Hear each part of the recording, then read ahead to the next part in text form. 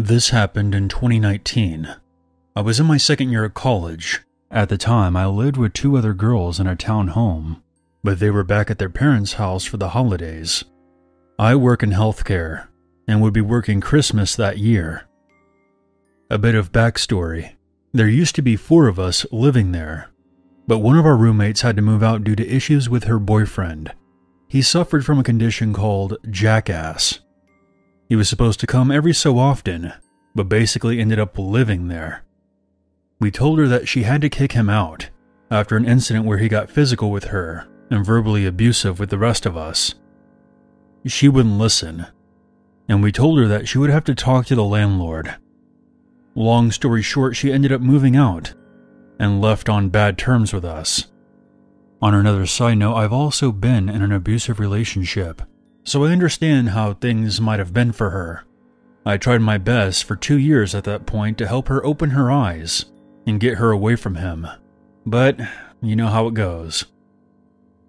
The entire situation was affecting everyone that lived there, and we didn't feel safe with him around, so she had to move out.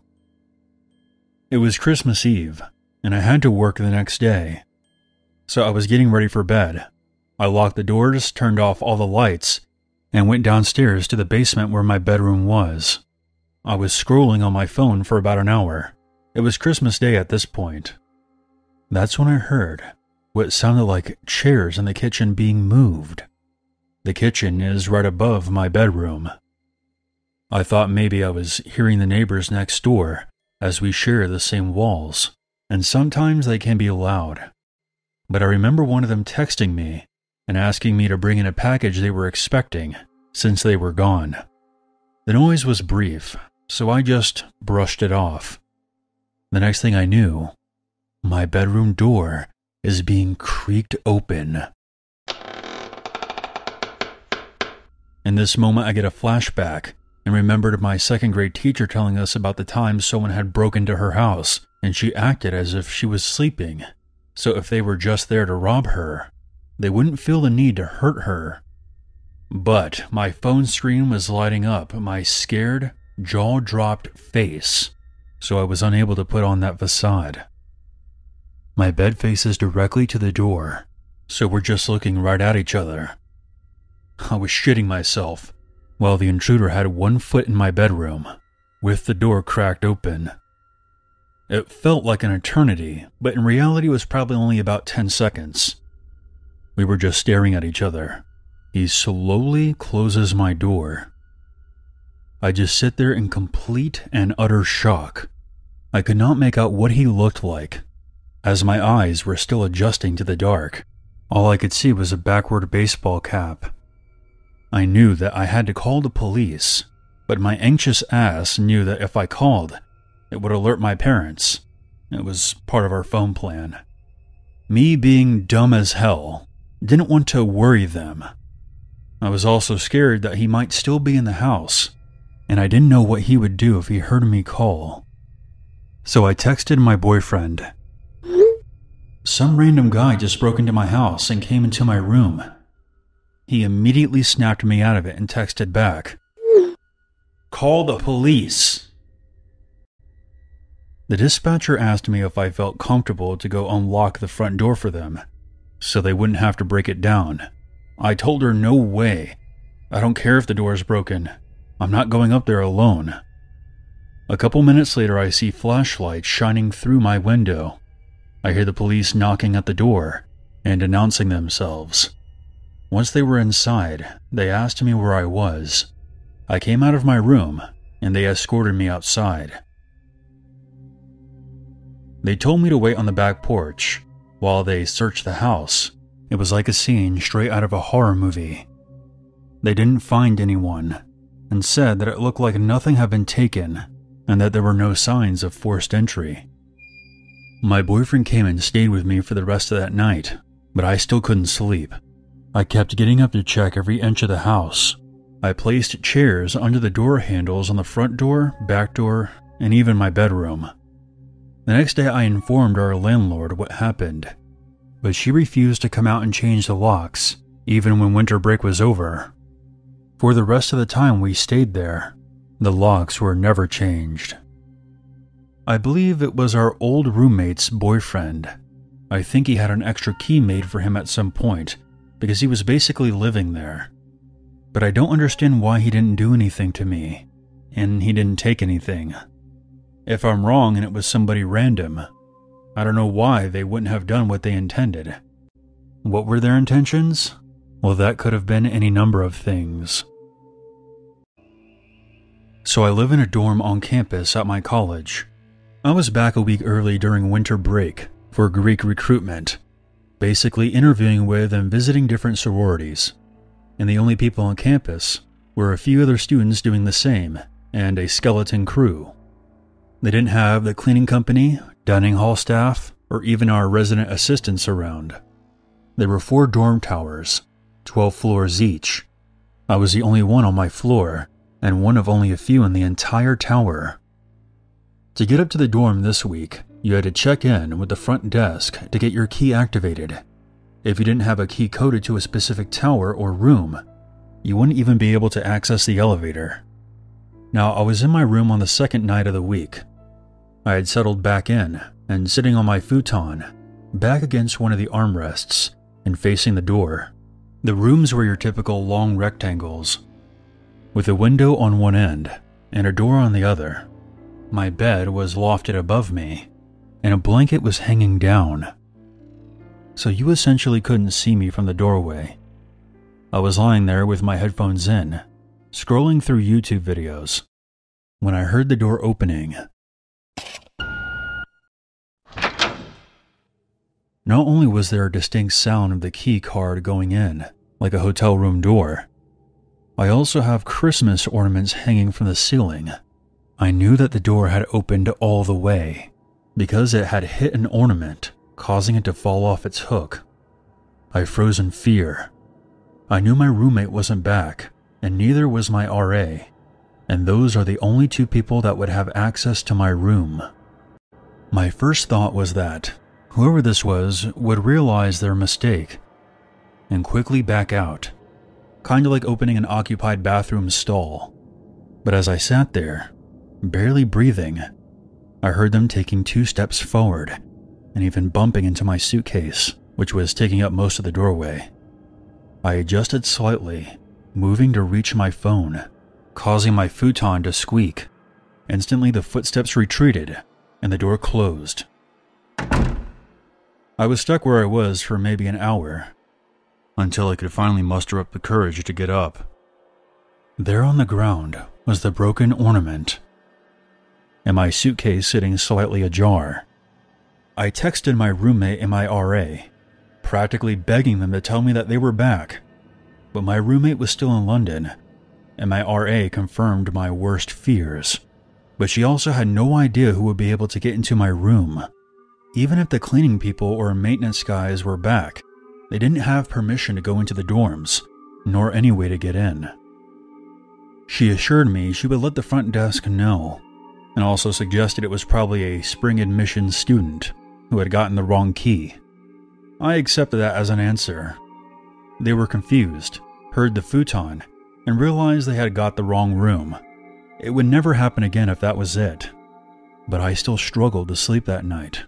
I even felt terrified to turn around and look at the door when I woke up the next morning. Night returned, unable to sleep and still very scared. I was once again up late browsing Reddit. This time I had my phone close to me and had taped a piece of string over the door since I no longer had my ornament alarm, I needed to validate that I wasn't going crazy. Once again at 3 a.m., I heard heavy footsteps outside my door. The distinct use of a keycard, and my door opening up. I stayed perfectly still, and I realized I could see a reflection of a silhouette in the microwave's door which sat against the window facing the doorway. They stood there and nearly filled up the entire doorway, the light from the hallway streaming around them into my dark room. I once again found myself frozen, convinced whoever this person was had ill intent. last night wasn't a mistake. I hit play on a video I had queued up, and as soon as the ad started playing, the figure left and the door closed behind them, and the footsteps retreated. I told my RA and my roommate about this, as well as the front desk, the next morning. All of them confirmed that no one else had a registered key for my floor in my tower. Rather, it was another student or employees. I didn't sleep for the rest of that week and kept my suitcase and chair in front of the door, but it never happened again. But even now, months later, that 9 by 20 room is terrifying to me whenever I'm there alone at night, since whoever comes through that door is only a few steps away from my bed and blocks the only way out. This happened 20 years ago. I was driving back home with my girlfriend at the time. It was Christmas Eve, and my mother's family used to hold a large celebration at my aunt's house in Estacada. This was my girlfriend's first time meeting with my extended family, but she got on quite well with them. We spent the majority of the afternoon and evening talking, playing poker, opening presents, and drinking an assortment of adult beverages. My girlfriend had been quite inebriated by the time we had to leave, therefore, I would be driving us home. It was around 11 p.m. or so, and I was driving my girlfriend's car along Highway 211. Now, this stretch of road is surrounded by farms and dense patches of forest. There are parts of it that are completely unlit, but nothing to fear. I grew up in this area, so I knew this road like the back of my hand. Both of us were just driving and talking away. There's a portion of the highway that descends down an enormous hill before crossing Deep Creek. Surrounding both sides of the road is a thick forest.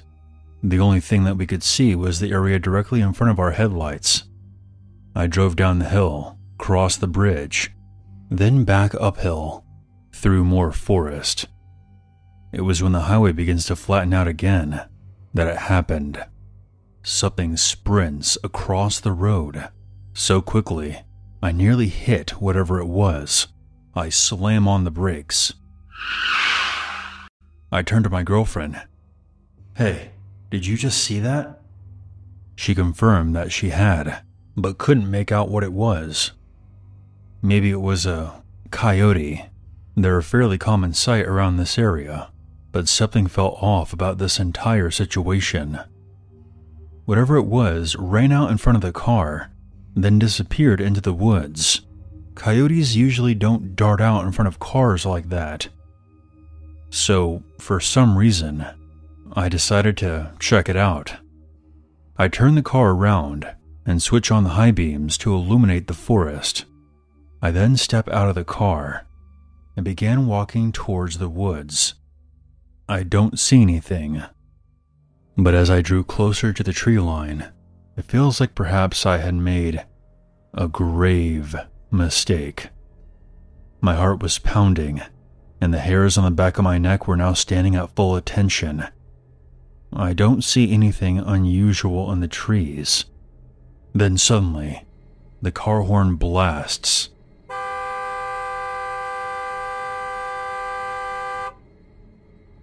I hurry back to the car and ask my girlfriend what was going on.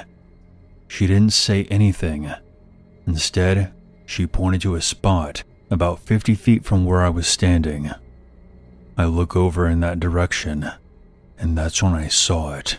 Without a doubt, this was the thing that ran in front of our car. It appeared to be a man, completely naked. His skin was covered in mud and in one of his hands, he was holding a hatchet. He looked back at us, and then he smiled, then waved, just before turning around and walking back into the forest. Needless to say, we got the hell out of there. Once we were safely on the road again, my girlfriend explained what had just happened. While I was trying to look for the man in the direction that he initially vanished in, he circled around and came out from another spot in the forest beyond the car's headlights. My girlfriend had seen something out of the corner of her eye, and that's when she spotted him. Before she honked the horn, he was walking toward me, his hatchet raised as if making to strike me. We called the authorities once we safely got back home, but they never found anybody. The officer we spoke to explained his theory. The man was looking to ambush unsuspecting travelers. We all agreed that my girlfriend's quick thinking saved my life that night, as it let my potential murderer know that I wasn't alone out there. I moved back into that area recently, so now I drive on that highway often. There hasn't been any naked hatchet man sightings yet, but I can tell you that I'm definitely extra vigilant now, especially whenever I'm near Deep Creek. I used to deliver on a paper route when I was 13. It was that sort of old school route where I'd hustle every morning around 6 a.m. with a satchel, dropping off the daily paper to houses. It was a pretty cool gig, simple and pretty much exactly what you'd expect. The one lame part about the job was that it was rain or shine. No matter the weather, even if it was pitch black with a blizzard, the paper was getting delivered. That's probably why they used to hire kids back in the day. It was easier to pressure them to go, and they had to walk that route either way. One day, I was dropping off papers as usual in the morning. It was winter and still dark. These were my favorite shifts because it felt like the whole world hadn't quite turned on yet. It was cool seeing all the homes nice and cozy. Maybe a wisp or two of smoke still escaping the chimneys. It's just nostalgic for no reason. Maybe because of the holidays. I slogged on through the dark. The few streetlights that guided my route cast dim yellow glares into the snowdrifts beneath them. I remember it being extra still and ominous. I would periodically stop between houses to catch my breath, but it was really to survey the neighborhood. I still can't put my finger on it, even to this day but I remember just feeling weird that morning. Something was off, but not anything I was aware of. All I could do was push on through the cold and get the job done. Shortly after passing a house at the end of a cul de sac, I heard two loud pops, followed by a third a minute later. I grew up around guns and knew that sound, but I just carried on with my route. I figured it was someone getting their car started and the exhaust backfired or something. I'd seen that happen to my dad's truck before, and other cars around town, so I knew it was a possibility. In my 13 year old brain, it was way more likely than three consecutive gunshots. I waited to say anything to anyone until later on that morning. It's just one of those things you don't want to mention because you don't know the gravity of the situation. When I mentioned what I'd heard, my parents immediately told me that it was all in my head. It probably was just a car backfiring. It did put me at ease, and I just went on with my day. That confirmed what I was so desperate to believe. Later that morning, my neighborhood was full of police and news vans, centered around the house. They were clamoring for neighbors or anyone who'd been around the cul de sac that morning. My parents told me to stay inside, but the truth is that I would have never gone to speak to them. Just like when I hesitated to tell my parents, I felt like I was doing something awful when I told them about what I heard. It felt disrespectful, strange, and very ominous. It felt wrong.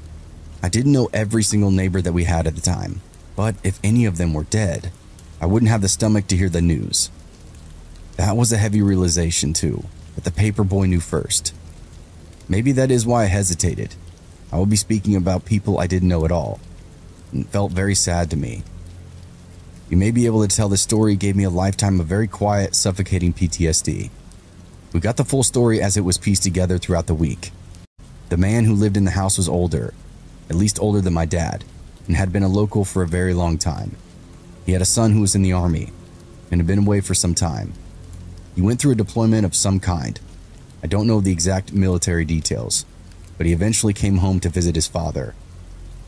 When he arrived back at home, he wasn't alone. He brought another guy with him, and then proceeded to come out to his father as gay. The other guy was his boyfriend, no one really knew any of the details beyond that, other than how the visit concluded. The dad shot and killed them both that morning, then immediately turned the gun on himself.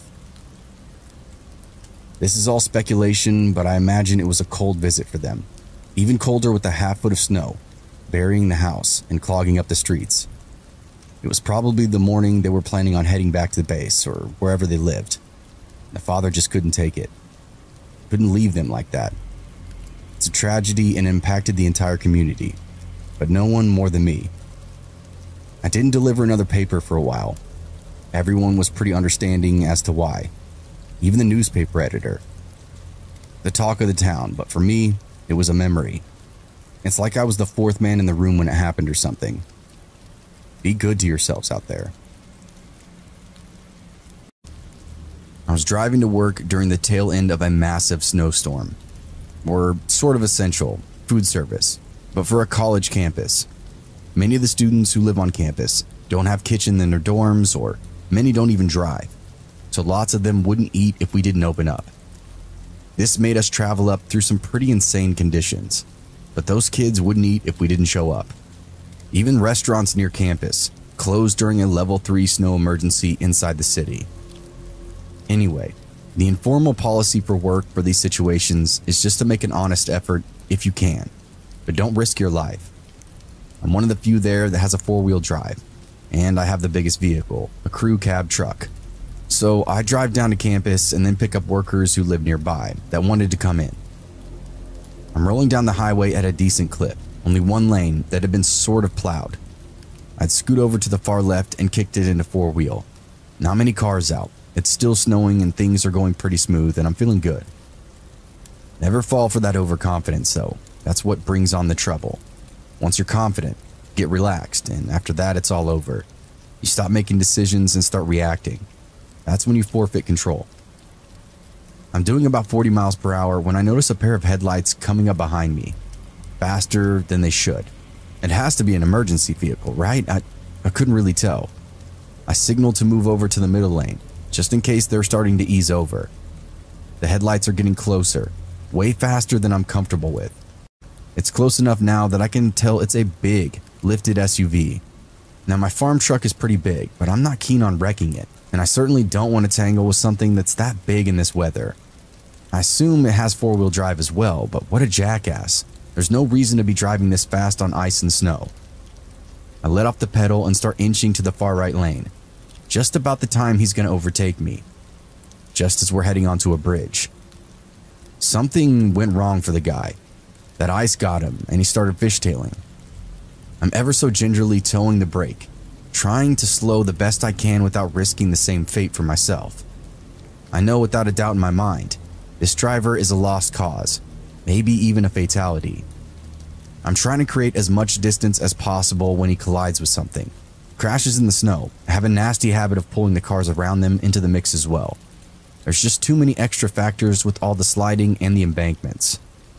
The SUV loses all traction, spins, and goes sliding over across my lane, missing me by inches. Windshield facing windshield. It was close enough that we locked eyes for a split second, and I could see the terror in them.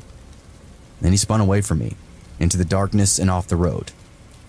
He was exactly what I expected young, either arrogant or ignorant to how to drive in the snow. Maybe there was an emergency somewhere, but who knows? We'd both just crossed the bridge as this happened. He went flying off the highway right where the guardrail ended, sailing into some trees. I saw the branches shake and the snow fall with a whoosh, then nothing but the faint glow of the taillights. Now I had to call this idiot in, and I can't tell you how common it is for some dummy driver to send their car sailing off a roadway, snow or shine, only to never be found. Calling it in is the move, because the person that just crashed might be unconscious and there's no way to get to them. They could wake up later with no memory of where they were, and even if they do remember, sometimes the crash can rearrange the contents of a car. Their phone might not be where they left it. Either way, that dumbass not only wrecked driving like an idiot, but almost came inches from taking me with him. I saw a couple of cars behind me slowing down and pulling off, so I called 911 and kept right on to work. My butt cheeks were clenched so tight, I thought I was going to have to get someone to pry me off the truck seat with a crowbar. It's not always the ice and snow that'll get you into trouble. It's the damn idiots you share the roads with, who don't know how to drive safe in it at all. I'm so glad that I don't live in apartments anymore. at least in the city I used to live in. I had a family across the hall from me, and they were okay people, except for their oldest son. He didn't say much, but when he did, he talked in a creepy kind of soft spoken way, like Michael Jackson, but more like he was on something. He had offered to help us move my wife's stuff into our apartment when her family showed up with a U-Haul, and her family being trusted people said yes. Now, I was a bit hesitant, but we did need the extra help. We somehow got to talking about a pair of pants that I no longer needed, and he's immediately like, Yo, can I have them?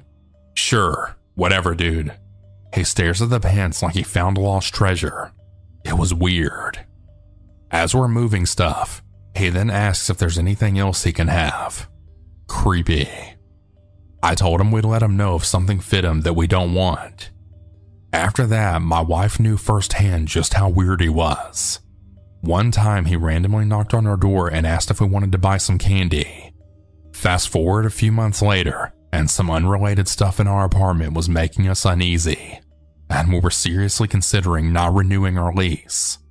I knew it was time to leave when we were woken up at 6 a.m. one morning to hear the police shouting, It's the police, open up! We have a search warrant! They shout two more times, and then we hear a loud crack, and we saw through the people that they busted down a door. A week later, the family moved out. I hated that they left because other members of the family seemed pretty normal. Unfortunately, a week or two later, we see the older creepy ass son hanging around our hallway. I had nodded to him on my way out to get the mail, and I then called my wife, like, He's still here? What the hell? She says I should strike up a conversation to find out if his family's still here, and then act confused even though we saw them taking out furniture. So when I came back to the apartment, I had made eye contact and I asked how his family's doing. They're good. He responds, Cool, cool. Good to hear. I haven't seen y'all around lately. I thought I saw them moving stuff out. Wait, did y'all move? Yeah, they moved. I ended the conversation soon after and then went back into my own apartment. If they moved, why the hell is he hanging around our hallway? The only thing I can think of is that maybe the older son was into drugs, which would explain his weird behavior. Then the police caught him buying or selling drugs and busted down his family's place because it's his address. Maybe they didn't take him with them because they didn't want part of any of his lifestyle. It's really the only thing I can make out of it, and we only saw him a couple more times before we moved. We barely landed an opening in an apartment on the other side of the town, which is much safer. Our budget was real tight, but it was well worth it, and I'm so glad that I don't live in that area anymore. Peace, love, and be safe and vigilant out there, everyone. Please. Maureen Anu Kelly was born on September 26 of 1993 and was raised by a single mother named Mapuana in Spokane, Washington. Following her graduation from Lewis and Clark High School, she listed her occupation on Facebook as guru, that's spreading the love, but told friends she aspired to become a singer-songwriter. Owing to her heritage as a Pacific Islander, Maureen's instrument of choice was the ukulele, and she often posted videos of intimate bedroom performances on the video streaming site YouTube. Maureen's half sister, Sherry Kapu, later described her as a very laid back, carefree girl, and mentioned how in June of 2013, 19 year old Maureen had called her to request a favor. She called me before she left, saying she was going camping with friends and asked if she could borrow some of my camping gear, Sherry said. She was excited about going and told me she loved me. And that was totally normal for her. She was a very affectionate person. The next day, Maureen stopped by Sherry's apartment to collect the camping gear. When Sherry asked where she was headed, Maureen replied that she and her friends planned to visit the Gifford Pinchot National Forest. The reply surprised Sherry. Maureen was very much an admirer of Mother Nature, but she was not an experienced camper. She had previously expressed a desire to spend a prolonged period living outdoors, but had never been suited to the realities of wilderness living. I asked her why now, Sherry later said, and Maureen told me that she wanted to go on a spiritual quest, and that really concerned me. As she departed, Sherry waved Maureen off after wishing her the very best of luck, but little did she know, it was the last time they'd ever see each other. Located around three hours' drive southeast of Seattle, the Gifford Pinchot National Forest extends more than 70 miles along the western slopes of the Cascade Mountain Range, from Mount Rainier in the west to the Columbia River in the east. The forest consists of broad, old growth woodland and high mountain meadows, along with several glaciers and numerous volcanic peaks. The forest also features the Canyon Creek Campground, a small, lightly used camp tucked in the forest adjacent to the eponymous body of water. Eight campsites are available for tent camping only and come complete with a small dining table and a fire ring for warmth and cooking. To get there, Maureen and her friends drove out to Chelatchie near Highway 503 on June 9th of 2013. From there, they traveled east on Road 54, then turned down a series of small back roads until they reached Canyon Creek. They found the campsite, along with the trail that led to it, completely unmaintained, but Maureen's companions were experienced campers and set about making the area much more comfortable for themselves. The group set about clearing away all the fallen pine needles from the camp stove and table, then, after setting up their tents for the evening, they enjoyed a small campfire dinner. Yet, following their meal, the group noticed that Maureen's behavior took a turn for the bizarre. Her fellow campers were well aware of her desire to embark on some kind of spiritual journey, but had no idea what that entailed. So when Maureen approached her tent and began to strip, completely naked, her companions were nothing short of flabbergasted. By the time she was ready to begin her spiritual journey, Maureen was barefoot and wearing nothing but a small fanny pack containing a knife, some matches, and a compass. Her friends advised her against heading out into the woods in such a state of undress, but the 19 year old insisted. She reassured her companions that she wouldn't walk too far and would be back by midnight at the very least, as well as insisting that her state of undress was essential to the completion of the aforementioned journey. And so, with trepidation, Maureen's friends watched her disappear among the trees and never to be seen again. When midnight came and went, and Maureen failed to reappear, her friends began to panic. They fanned out into the darkness of the woods, flashlights in hand, and called out to their missing companion, but there was no reply to be heard. Unable to rest while Maureen remained unaccounted for, her friends contacted the local sheriff's department to report her missing. Around an hour later, the first deputies arrived at the campground to begin their investigation. Skamania County Under Sheriff Dave Cox later recalled this interaction with unease. Maureen's friends told us that she talked about doing this spiritual quest thing for quite some time, he said. Apparently, she felt it was something she needed to do. Cox said his deputies told the teenagers to be brutally honest with them before asking if Maureen had been under the influence of drugs or alcohol at the time of her disappearance. Each vehemently denied any kind of drug or alcohol use, and according to Dave Cox, their position seemed more than plausible. They could have quite easily tidied up the campsite prior to the deputy's appearance, but upon their arrival, the teenagers seemed alert and focused, with deputies observing no evidence of drug or alcohol consumption at the campsite. Within just a few short hours, under Sheriff Cox was helping orchestrate one of the largest search and rescue efforts Skamania County had ever seen. But right away, the prognosis was grim. The area that Maureen had ventured into, almost completely nude, with nightfall rapidly approaching, is one of the steepest and most hazardous in the entire region. Sharon Ward, a representative of the Pacific Crest Search Dogs Association, personally participated in the search and rescue effort. The area Maureen walked off into is amazingly steep. It's called Canyon Creek for a reason, Sharon said. How she got down there is a mystery, but then climbing up again in her bare feet, that had to be tough going. It's a remote area, lots of timber and brush, so her feet would have been cut up by the time she made it up to the other side, and she did make it up there, we're in no doubt of that. A total of 75 professional and volunteer rescue workers combed the woods around Canyon Creek for five whole days. They did so in shifts, employing a multitude of search and rescue techniques over an area of four square miles. But by far the most effective asset at their disposal was the team of dedicated tracker dogs. After honing in on Maureen scent, the dogs traversed the entirety of Canyon Creek, then headed north into the woods towards a pathway known as Forest Road number 54. Expert trackers followed close behind and quickly detected a series of human footprints in the soft dirt. Investigators were in no doubt that these belonged to Maureen, but after following them north towards the service road, the footprints suddenly and inexplicably disappeared.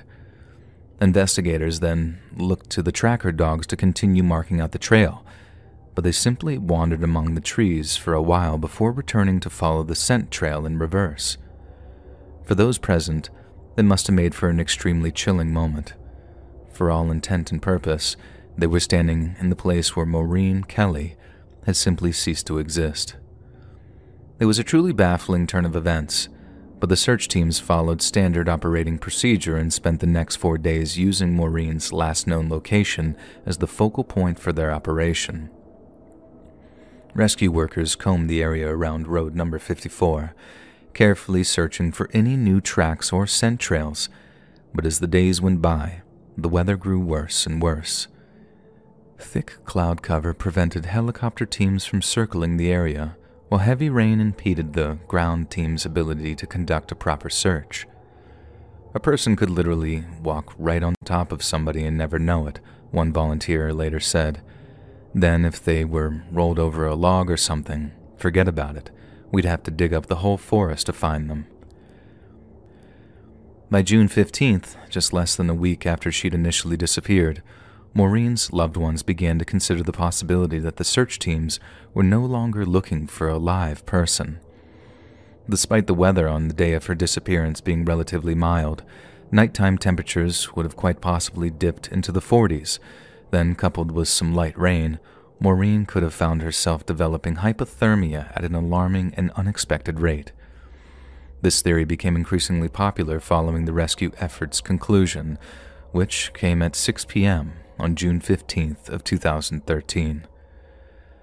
Skamania County Sheriff personally promised Maureen's mother that the investigation would continue and that no matter how tragic her daughter's end, her remains would be brought home. Professionals and volunteers alike continued the search area surrounding Service Road 54, albeit on a much slower and ad hoc basis. But as the months went by, something very chilling became evident. Given that the prevailing theory was that Maureen had fallen victim to the elements, it stood reason that it was only a matter of time before her body, or what remained of it, was recovered. Yet, time after time, both professional and amateur search teams headed out into the woods and came back empty handed. Some posited that Maureen's remains had been set upon by hungry scavengers, and that they could now be spread out over a much wider area. But if that were the case, surely one of the many search and rescue teams would have reported such a discovery. Not even an animal bone was isolated and analyzed as possibly belonging to Maureen, which leads us to believe that her fate may well have been very different from those suggested by search and rescue experts. Last June marked the 10 year anniversary of Maureen's mysterious disappearance, and as frustrating as it is, an entire decade has brought us no closer to understanding what truly happened to her. Yet perhaps the best insight into her ultimate fate can be found in a Facebook status that she posted on June 6th of 2013, just 3 days before she wandered off into the woods with not a stitch of clothing on her. Happiness, she wrote, is something that cannot be found.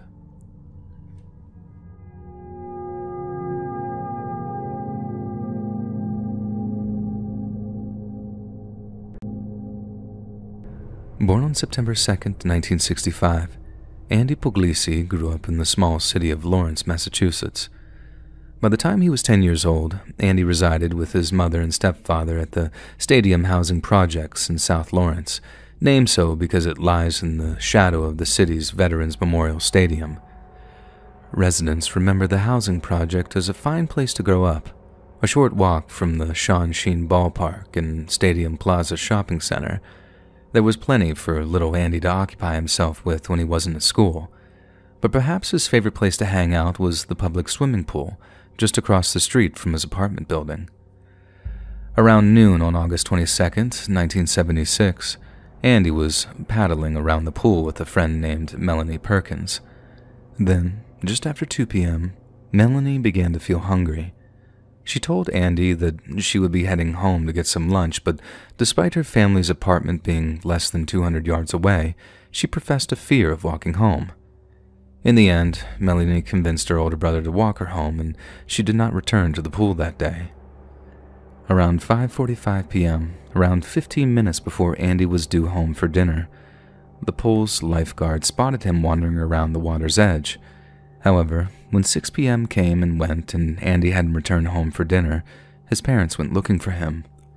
They arrived at the pool just minutes later, but little Andy was nowhere to be found. They rushed to contact the police, but initial theories placed Andy as a runaway. Being a child of divorce, the police considered the possibility that he had run off to find his father. However, when they contacted the man, he had no knowledge of his son's location. The next day, a team of police officers, civilian volunteers, National Guardsmen, and off duty Special Forces soldiers scoured the surrounding neighborhood equipped with sniffer dogs and portable CB radios. The search was then expanded to the city dump, while specially trained divers dredged the bottom of the nearby Shawsheen River. But perhaps the area of the most interest to search teams was the wooded area adjacent to the public swimming pool. Some theorized that the woods would provide cover for anyone who wished to prey on the swimming children. It would also serve as a concealed passageway to the nearby Blue Star Memorial Highway. Additionally, there is a much larger wooded area across the highway, which extends all the way to the residential areas of neighboring North Andover. These wooded areas were extensively covered by sniffer dogs and off duty Green Berets, but there were no signs of any struggle or scent trails. However, as one of the Green Berets pointed out, if Andy had been abducted right after getting out of the swimming pool, there was very little chance the sniffer dogs would be able to pick up his trail. Either he had been snatched up by an intelligent, predatory, and extremely dangerous individual, or something much more terrifying and inexplicable had occurred. Just six days after Andy was declared missing, law enforcement scaled down the search, and Andy's family was forced to face the heart wrenching reality that he might never return alive. A week later, a man by the name of Wayne Chapman was arrested in Waterloo, New York, on suspicion of impersonating a police officer. Inside his van, law enforcement discovered indecent images of children, maps of wooded areas, duct tape, high end camera equipment, and a single blood-stained child's sock. When confronted with the overwhelming evidence of his guilt, Chapman confessed to violating two young boys, with both assaults occurring in Andy Puglisi's hometown, Lawrence, Massachusetts.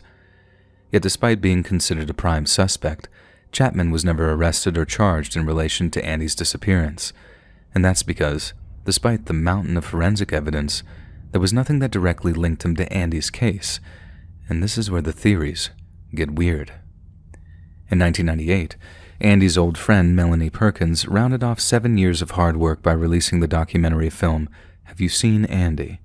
The feature length documentary explores the events of that faithful August afternoon and re examines facts surrounding Andy's disappearance. It is a thoroughly well researched film and in the process of creating it, Melanie discovered something truly shocking. According to the case files, police have estimated that there were at least five known predators in the vicinity of the public pool on that day Andy vanished, one of whom stalked a school bus full of children with the intention of snatching one. But perhaps the most mysterious and chilling of all the film's testimonies comes from two local men named Alan and Tony, who were children during the late summer of 1976. Around a year or two after the events of that late August afternoon, Alan and Tony were walking through the woods behind the same public pool from which Andy disappeared when they made a startling discovery. Set into the forest floor, maybe 50 feet away from the public path, was a large, perfectly rectangular hole in the earth. It had flat sides and a flat base, the men claimed, almost as if something large had been removed from it, like a chest or coffin. When they returned two days later, the hole had been filled in again, and so effectively that it was almost impossible to discern its original location. Neither believed it was connected to the Andy Puglisi case, but when they heard about the documentary, they decided to finally break their silence. In the documentary, Melanie mentions how she once heard rumors of a forensic dig site in the woods behind the public pool and believes that this is what the two men had encountered. Alan and Tony disagree. The men claim that the deep pit appeared to be perfectly cut out of the earth, as if by a giant cookie cutter. There was no police tape, no shovels or picks, and no attending police officers to warn them away from an active crime scene. But most importantly, there were no piles of displaced earth surrounding the hole. The boys walked in the area often and dismissed any idea that they missed or simply didn't remember any law enforcement involvement.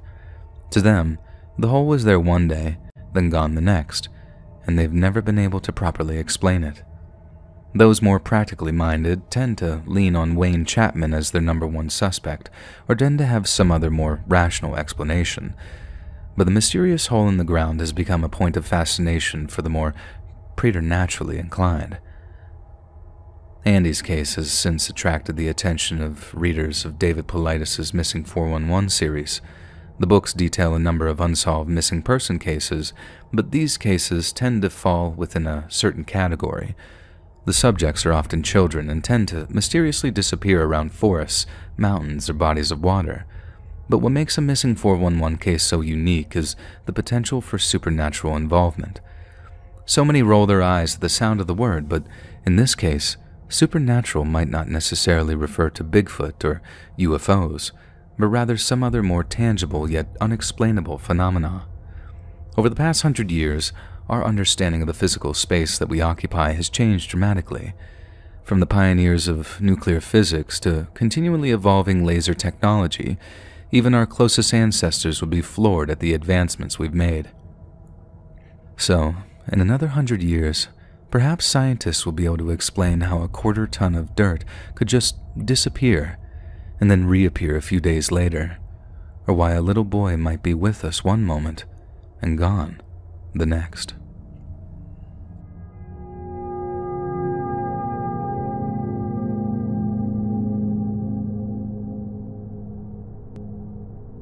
Derek James Engbretson was born on July 5th of 1990 in the small city of Klamath Falls, Oregon.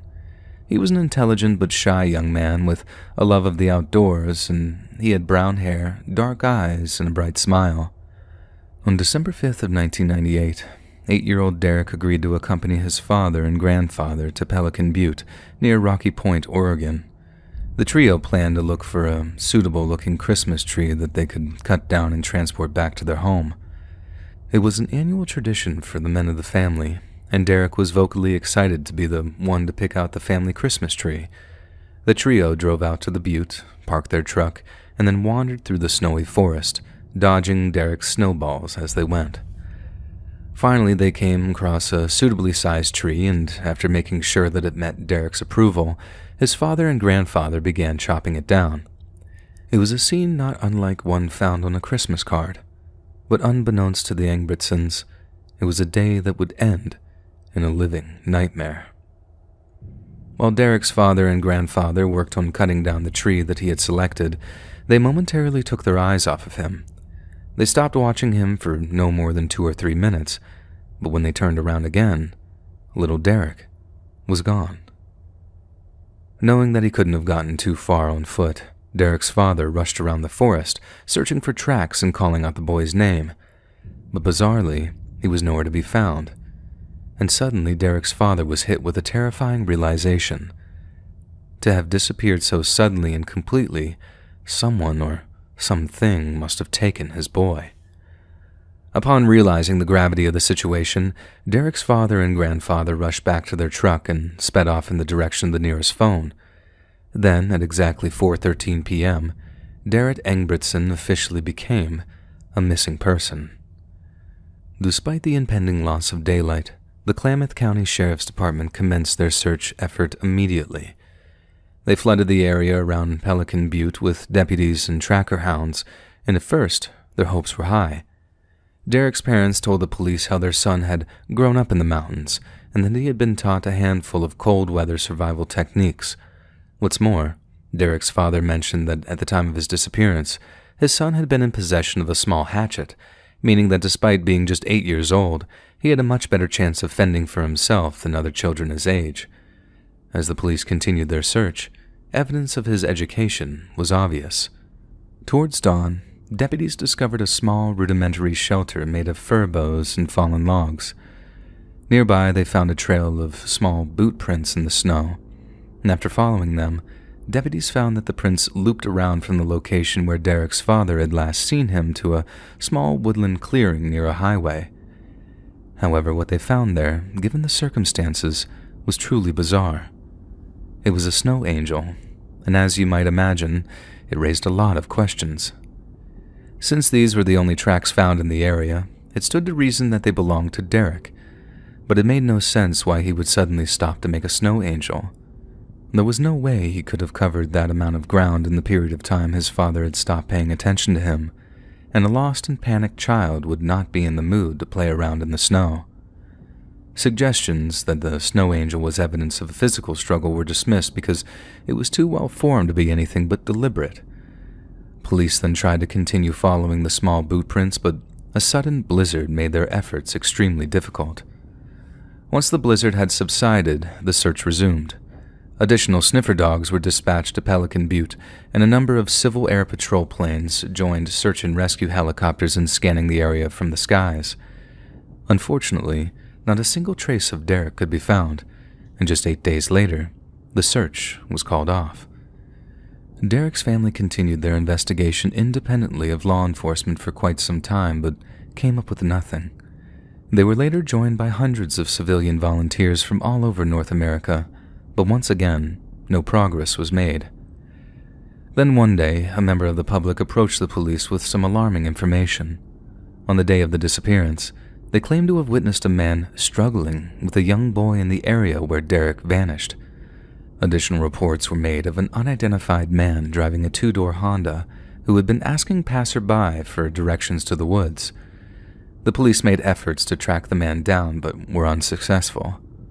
Less than a year later, on September 24, 1999, Oregon's Harney County Sheriff's Department received a call from a horrified member of the public. They had discovered some graffiti in the bathroom of the Sage Hen Rest Area, over 200 miles away from Pelican Butte and it referenced Derek's abduction. Upon being informed of what the graffiti said, Derek's mother told the media, I think it's just a big sick joke. If someone took Derek, if they put this on the wall, they were wanting to be caught. If they were wanting to be caught, why didn't they leave something of Derek's there? Many have speculated on exactly what was written on that wall, but to this day, it has never been made public. This is probably to honor a personal request made by Derek's family, as if they did indeed believe it was nothing but a sick joke, it would serve no purpose to broadcast it. However, based on what Derek's mother said, it's not difficult to infer what was written. Someone claimed to have taken the boy, and they most probably claimed to have kept him alive, or at least kept his body as some kind of sick trophy. The implication that they could have left something of Derek's at the truck stop strongly implies that they were in possession of some of his personal effects. In 2008, police confirmed that a man named Frank James Milligan was considered a potential suspect in Derek's disappearance.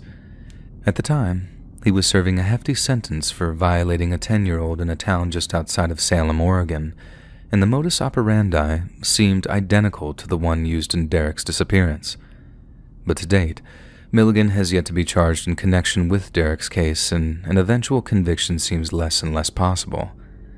But to have snatched Derek out from right under his father's nose, Milligan would have had to have stalked the family through the woods and then creep out without making a sound, impossible given the thick snow on the ground. If they were using chainsaws to chop down their Christmas tree, then it would be feasible that Derek's father didn't hear his cries. But the two men were using one axe between them, which is hardly capable of making enough noise to cover a child's abduction. But if Frank Milligan isn't to blame for Derek's disappearance, who is? The truth of what happened to Derek that day has remained a mystery for a quarter century now, and his case is unlikely to be solved anytime soon. But the question still stands Did Derek fall victim to a very despicable but explicable form of predator, be it animal or man?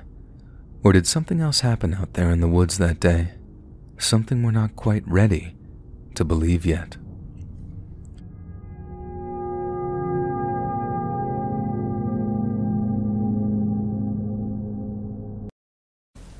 Hopefully, this is okay to post here. My story is not one where I was the target of someone stalking or harassment, but one where I was the guy who was at the right place at the right time. And I'm fairly certain that my inadvertent intervention may have saved someone I'd never met. Well, who knows what. This was back in 2015 or 16. I'm a career tow truck driver. At this point, I've been towing cars for most of my adult life, and will most likely do so until I retire or die whichever comes first. At the time, I was working for a pretty small towing company with only two employees. We rotated who was on call each weekend. It was my weekend on call. It was summer. So, with people being out and about late and whatnot, I was pretty busy. Cleaning up accidents, towing broken cars down both in the city and off the highway. I was fine with it, as I was paid in commission at the time. So, the more calls I did, the more money I made. It's Saturday night, now Sunday morning. It's around 2:30 to 3. Like I said, I've been busy. I'm tired, I'm a little grumpy, I kind of want to go home when my phone rings. It's an insurance company calling asking if we could do a tow for one of their customers who's broken down on the side of the highway. The breakdown location they gave me is about 15 miles out of town, which I normally wouldn't do, but the tow destination happens to be a dealership that's a couple of minutes from my apartment so I contemplate rejecting the call, but because I'm paid commission, I figure screw it. I can run up, grab this car, drop it off the corner from my place, then hopefully I can just head home and get a couple hours of shut eye. So I take the call and hop onto the highway. The insurance company provided me with the customer's first name, which for privacy's sake we'll call her Kara, and then gave me a phone number for her. I usually try to make contact with the people who are on the side of the highway to let them know that I'm on my way, and give them an ETA. I tried calling her a couple of times, but she didn't answer. Not unusual. After a short while, I see hazard lights up on the way on the shoulder, so I turn on my strobes and start slowing down. As I approach, I notice that not only is there a late model car that I'm looking for, but there's another car on the scene as well that doesn't have its hazards on, but it's parked in front of the car I'm meant to tow. This is annoying but not uncommon, as I needed to be able to get in front of the disabled car in order to load it, and sometimes people don't realize that. But because the other car is there, I instead pull up behind both cars. Standing at the trunk of the late model car, which is now directly in front of me, are a man and a woman. The woman is probably in her early 20s, dressed to the nines for a night out. She's maybe 5'1 or 5'2. She's wearing tight leatherish or something pants, a halter top, long black hair, very pretty.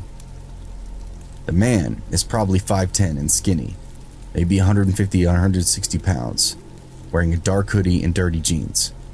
They're standing very close, facing each other. She has her arms crossed and he's leaning down talking to her. I step out of my truck and approach them both, and I introduce myself. They separate a few feet, and I look to the woman and say, Are you Kara? She nods. I say that I'm here from her insurance company ask what's going on with their car. Immediately, the man pipes up and says, Yeah, it's just some fuel issues. It's an easy fix. Can you just drop it off at this commuter parking lot? I'm gonna fix it for her there. I'm rather annoyed at this because the commuter lot in question is further up the highway, and I'm already 15 miles out of town. Like I said before, I only took this call because it was supposed to be coming back toward my apartment. I really wanted to go home. Not only that, but in order to change the original tow destination, I would have to call the insurance company back, wait on hold for them for who knows how long for a representative, and then let them know of the change and try to get them to pay me extra for the deadhead miles back home after I unload. I really didn't want to do any of this. Thirdly, this is a late model car.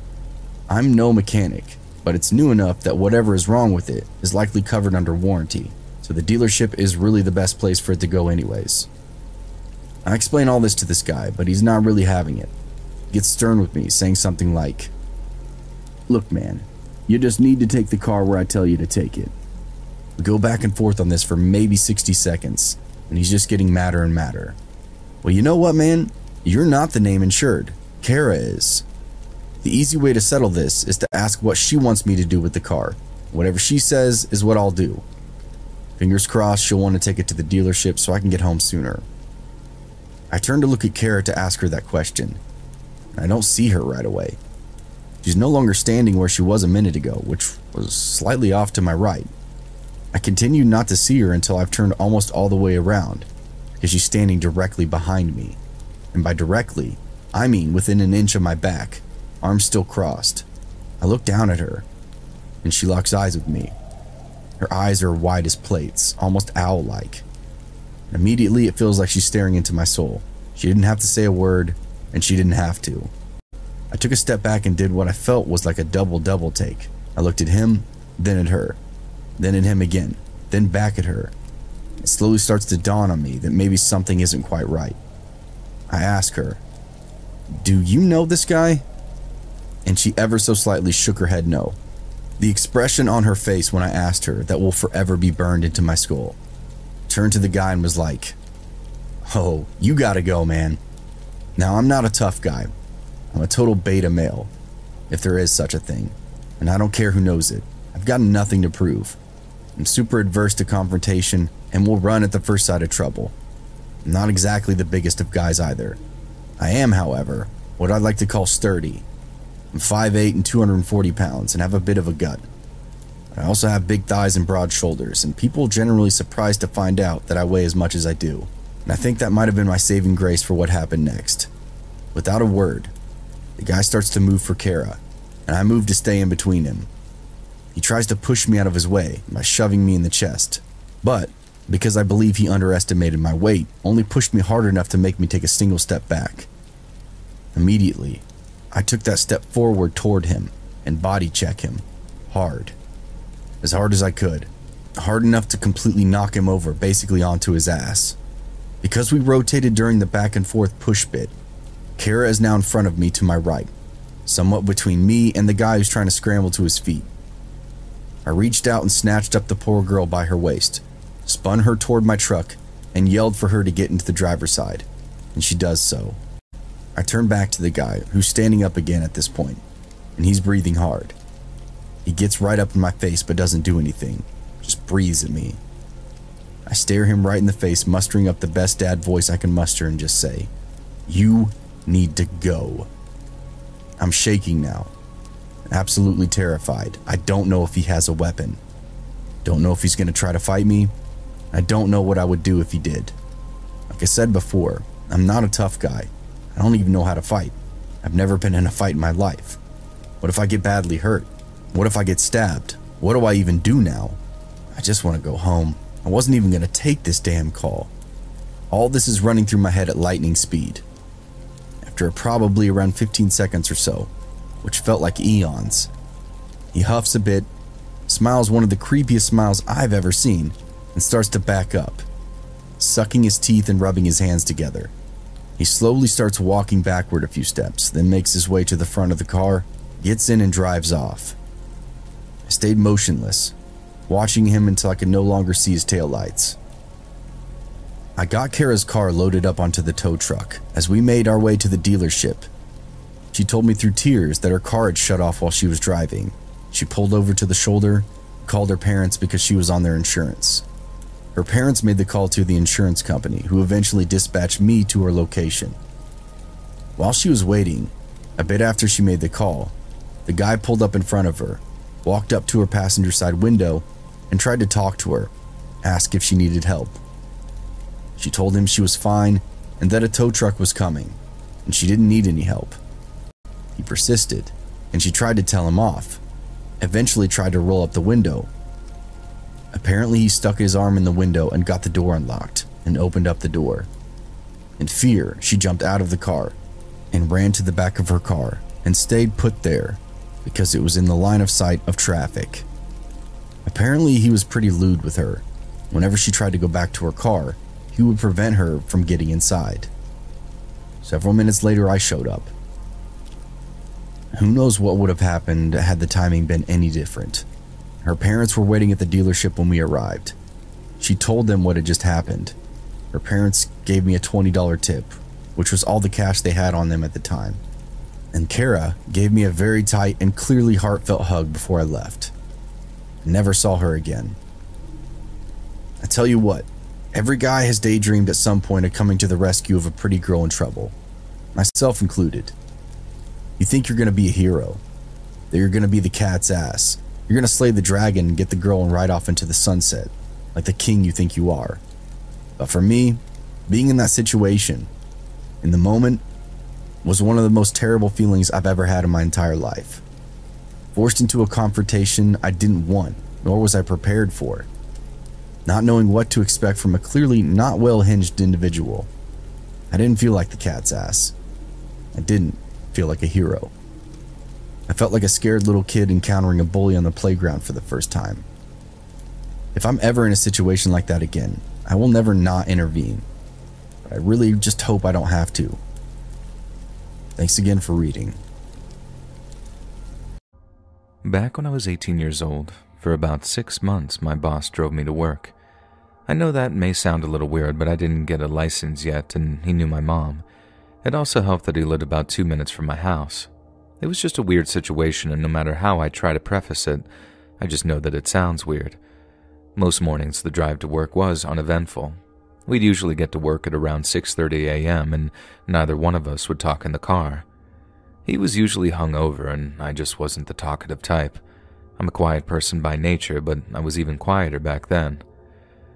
One day, we had to go to work at 3 in the morning for inventory. My boss decided it would be good to show me, so I got up extra early for that 3 a.m. shift. On the way into work that morning, my boss said that he wanted to grab some coffee at the gas station since it was the only place that was open. When we parked, as he was getting out of the car, he told me that he was going to hit the restroom as well. I just nodded and decided to wait in the car. I was exhausted from staying up way too late playing video games, and I was planning on just resting my eyes until we got to work. I'm assuming a few minutes had passed. I don't know exactly how long it was because I was falling asleep while I was waiting for my boss. With no notice, the back seat door opened, and it startled me in my half asleep state. I just thought it was my boss, and then I felt movement behind me. I finally looked behind me, and just sitting there in the back seat was a woman. She didn't appear to be homeless or look like she was on anything. She just looked strange. And we made eye contact for a few seconds, and then I whipped back around trying to process what was happening. I'm a really quiet person, and I was even more quiet back then, like I said, and I didn't know what to say or what to do. I was just hoping my boss was going to come back out soon. I started to finally work up the courage to ask what was going on, and I was immediately freaked out when I turned around. She was sitting there, now smiling, but looking forward. I don't really know how to describe her eyes. They were cold and dark and seemed almost lifeless, even though she was kind of pretty. Even as I write this, I still can't get the image of her out of my mind. It had probably been about 30 seconds since all this started, and I finally uttered my words when I asked her, Hey, is everything okay? You know this isn't your car, right? Instead of answering with words, she just started to scream erratically. It was so erratic that it was shaking the entire car, it felt like, or maybe just my head. I jumped back just out of panic, confusion, and shock, and I saw my boss walking out of the gas station. I just dove out of the passenger side door and shut it behind me. My boss was confused and asked me what the heck was going on, and I just pointed to the woman in the back seat of his car. We both just stood there, almost in amazement and disbelief. She was still screaming, shaking, and rocking back and forth. We could physically see the car shaking from her wild movements from inside the car. My boss approached the back seat where she was sitting, and as he grabbed the door handle, she put both her hands on the window, and I kid you not, started to hiss and growl at my boss. He said, Nope, and walked back towards me. I was standing probably 10 feet away at this point. He immediately called the police, and we were hoping that they would arrive soon since it was a small town. The entire time that we were waiting for the cops, we could hear the woman screaming and the car still shaking. After a minute or two of waiting for the police, we went inside and watched her from inside the gas station. There was just something unsettling about the entire situation. She wasn't trying to rob us, she only looked like she wanted to cause harm when we got near the car. I mean, she was sitting in the back seat, so she wasn't even trying to steal the car. It was just all so weird. The cops showed up maybe five minutes after the call. We went outside to greet the officer and fill him in on the situation, and he looked confused, and I'm not gonna lie, he almost looked kind of amused by the whole situation. The officer tried to get the woman to come out calmly, but after a minute of her screaming and growling, he basically went into the car and apprehended her. And this is where this bad dream truly turned into a nightmare. Upon arrest, the officer had to remove four knives from her person. Yeah, you heard that right. This woman had four sharp objects on her. Thankfully, she never showed us the knives or even hinted at the fact that she had them. But even more disturbing, perhaps, is the fact that she didn't have an ID on her and she wasn't talking, so the officer had no idea who she was. This complete stranger came out of nowhere. She got into my boss's car without saying a word she went from smiling to off the wall insane. Then, to cap things off, she had no ID and four deadly weapons on her. I've had some wild things happen to me over the years, but I'd have to say that this was probably the strangest and most terrifying that's ever happened to me. It's been years, and I remember this moment like it was yesterday. I'll never forget that woman's face, and I honestly wonder what she's up to now. When I was in college, I attended film school, and let me tell you, I loved it.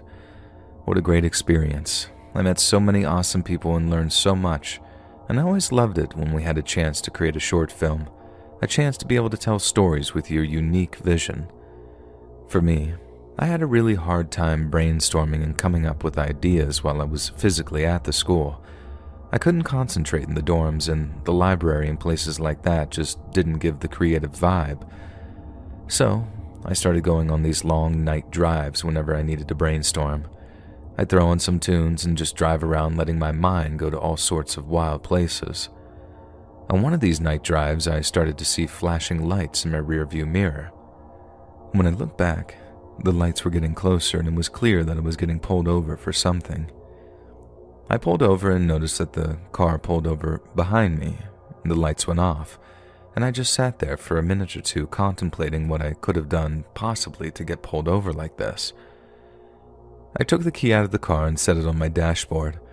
I don't know if that's like a universal thing, but I was always told when you get pulled over, put the key there. I started to look in the mirror, trying to make out any details that I could, but it was just too dark. From what I could tell, it looked like a pickup truck, but I couldn't be 100% certain. I started to have my doubts that this was even a real cop. I had just never seen a pickup truck cop car. And I started thinking that it could have been an undercover cop, but I still kept going to that same point, which was what did I do? Finally, someone emerged from the vehicle. It was dark, but I could clearly see that this person was wearing black pants and a black hooded sweatshirt. Full alarm bells were going off because I was sure that I had never seen a cop with a hoodie on, but it didn't speed away because I still had that fear of what if this was a cop? I would be fleeing the police and they would have my license plate, and it was a whole mental battle that I was having. He looked like wobbling all over the place as he was walking towards my car, and when he got to my window, which was rolled down about a quarter of the way, I could see most of his face, even through the hood as it was firmly on. He starts shouting from outside the window, Step out of the vehicle now. I could immediately smell the booze reeking out of his breath towards my face through the little crack in the window. And I know I'm stupid, but it took me this long to finally be sure that this wasn't a real cop. And I just yelled through the window, No, grabbed my keys, and tried to start my car. While I was struggling to find the keyhole, the man shouted again that I said get out right now. He then lifted part of his sweatshirt and started to pull something out that looked like a firearm, but I couldn't be sure. I just ducked down, put the car into gear, and drove off as fast as I could. I couldn't enjoy any relief in that moment, though, because within seconds, I now saw him following me. He didn't turn on the flashing lights, but got close enough to my car that he was straight up tailgating. If I switched lanes, he switched lanes. The speed limit on these dark roads was 45 miles per hour, and I was driving over 65 miles per hour trying to lose this guy. Before I knew it, I was almost 30 minutes away from campus, and this guy was still directly on my tail. I then did something that I had seen a million times in movies, and I couldn't believe that it actually worked. I was closing in on an on ramp for the highway. I waited until the last possible second and then swerved over and got onto the highway, forcing him to miss the ramp or he may have crashed. About two minutes passed and I saw no lights behind me. I hoped that I had finally lost this madman. Instead of getting off at the next exit, which I had a feeling that he may have thought was my plan, I made an illegal U turn on the highway and got to the other side. I made the short drive back and got off the exit that I got on. I had no idea where I was.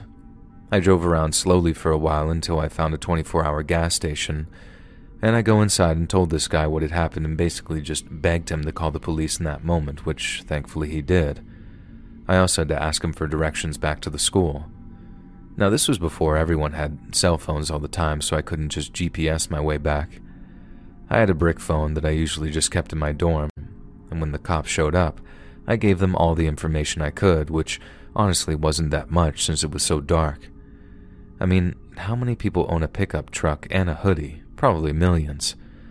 The cop was honest and told me that they most likely would never find out who the man was since I didn't get any plate information.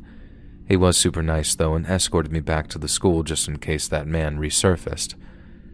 I think about that night a lot and just how crazy it was and how stupid I was. I wanted to punch the past version of myself for pulling over and not reacting faster. Whenever I have a truck tailgating me at night now, I'm always reminded of that night and I just hope that all these years later that that truck man never returns. When I was younger, each summer and almost every new year, my family would pack the car and go on a road trip to visit family in Mexico. We never had any problems until one particular trip when I was 8.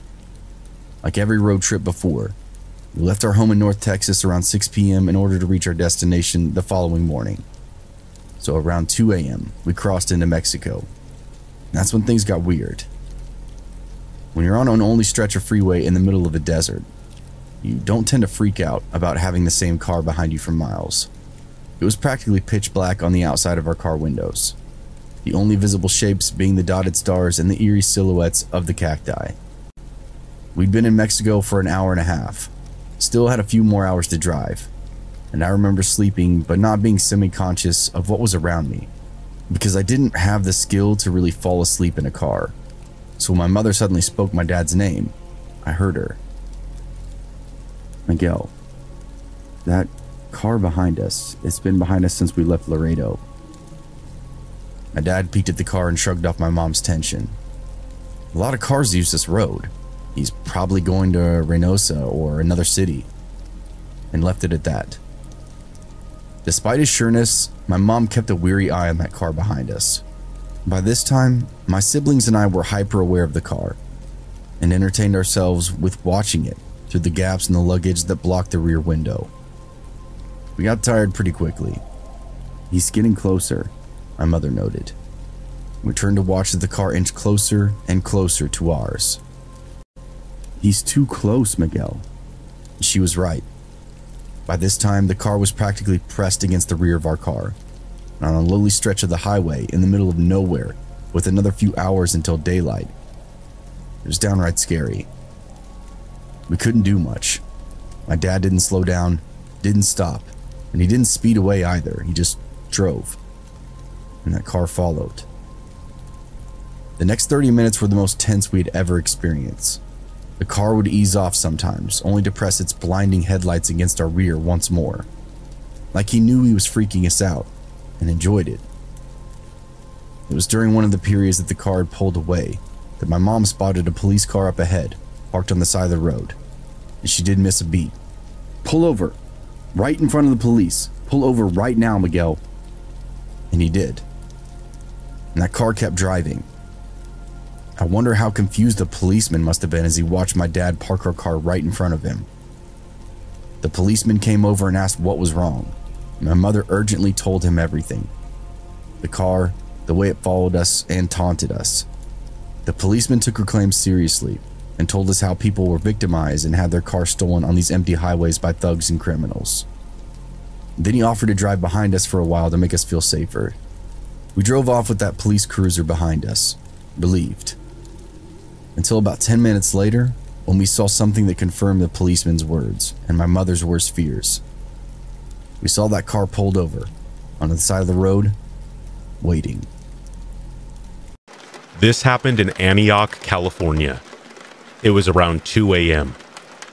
I was at a friend's house, safe in warm, sheltered suburbia. We were having a lot to drink, chit chatting, enjoying ourselves. Of course, when you're having fun, time hits the fast forward button, and those few minutes turn into an hour. I had too much to drink. My friend has a bit of an abrupt bedtime, so I had to dodge out early, still intoxicated. I felt too shameful thinking I would be asking too much to stay in his house, to sleep off the drunkenness. I suppose he was either too rude or too drunk to consider it himself. Whatever. Sometimes a little inconvenience makes you appreciate everything else. I needed about another hour or so to sober up and drive back. As fast as time passed during my stay, it decided to drastically slow down as soon as I stepped out of his house. It was a cul de sac area, a concrete jungle with the stem of the street breaking into a fork. Alongside the road, my car was parked. The only street light that worked was in the middle of the cul de sac circle, about 80 yards away. I stumbled towards my car, produced my keys, felt the metal line up, opened my door, and shifted to the back seat. Because this was a dark, strange, and unfamiliar neighborhood, I took the leftover newspapers and a sweater in my back seat to cover myself up. I wanted to camouflage myself and not just be some guy awkwardly sitting in his car, waiting for time to pass in order to drive home. I couldn't fall asleep. The uncomfortable feeling of a cheap backseat bed enshrouded in darkness didn't make the chance of slumber easier. It felt too ominous. And of course, my mind began to wander. I thought of worst case scenarios, like how the police would shine their lights on me through the window, or a drunk driver hitting my car, and. Wait. In the distance, about 100 yards away, I could hear footsteps approaching. The gravel scuffed with each step forward growing in proximity, but periodically taking stops. I wondered why until it made sense in my mind. Whoever it was was probably looking through cars carefully, with the intent to steal one. I couldn't recall how many cars were on the block, but I counted three full stops until he was at my window, breathing. I froze. There was no more than one foot between us.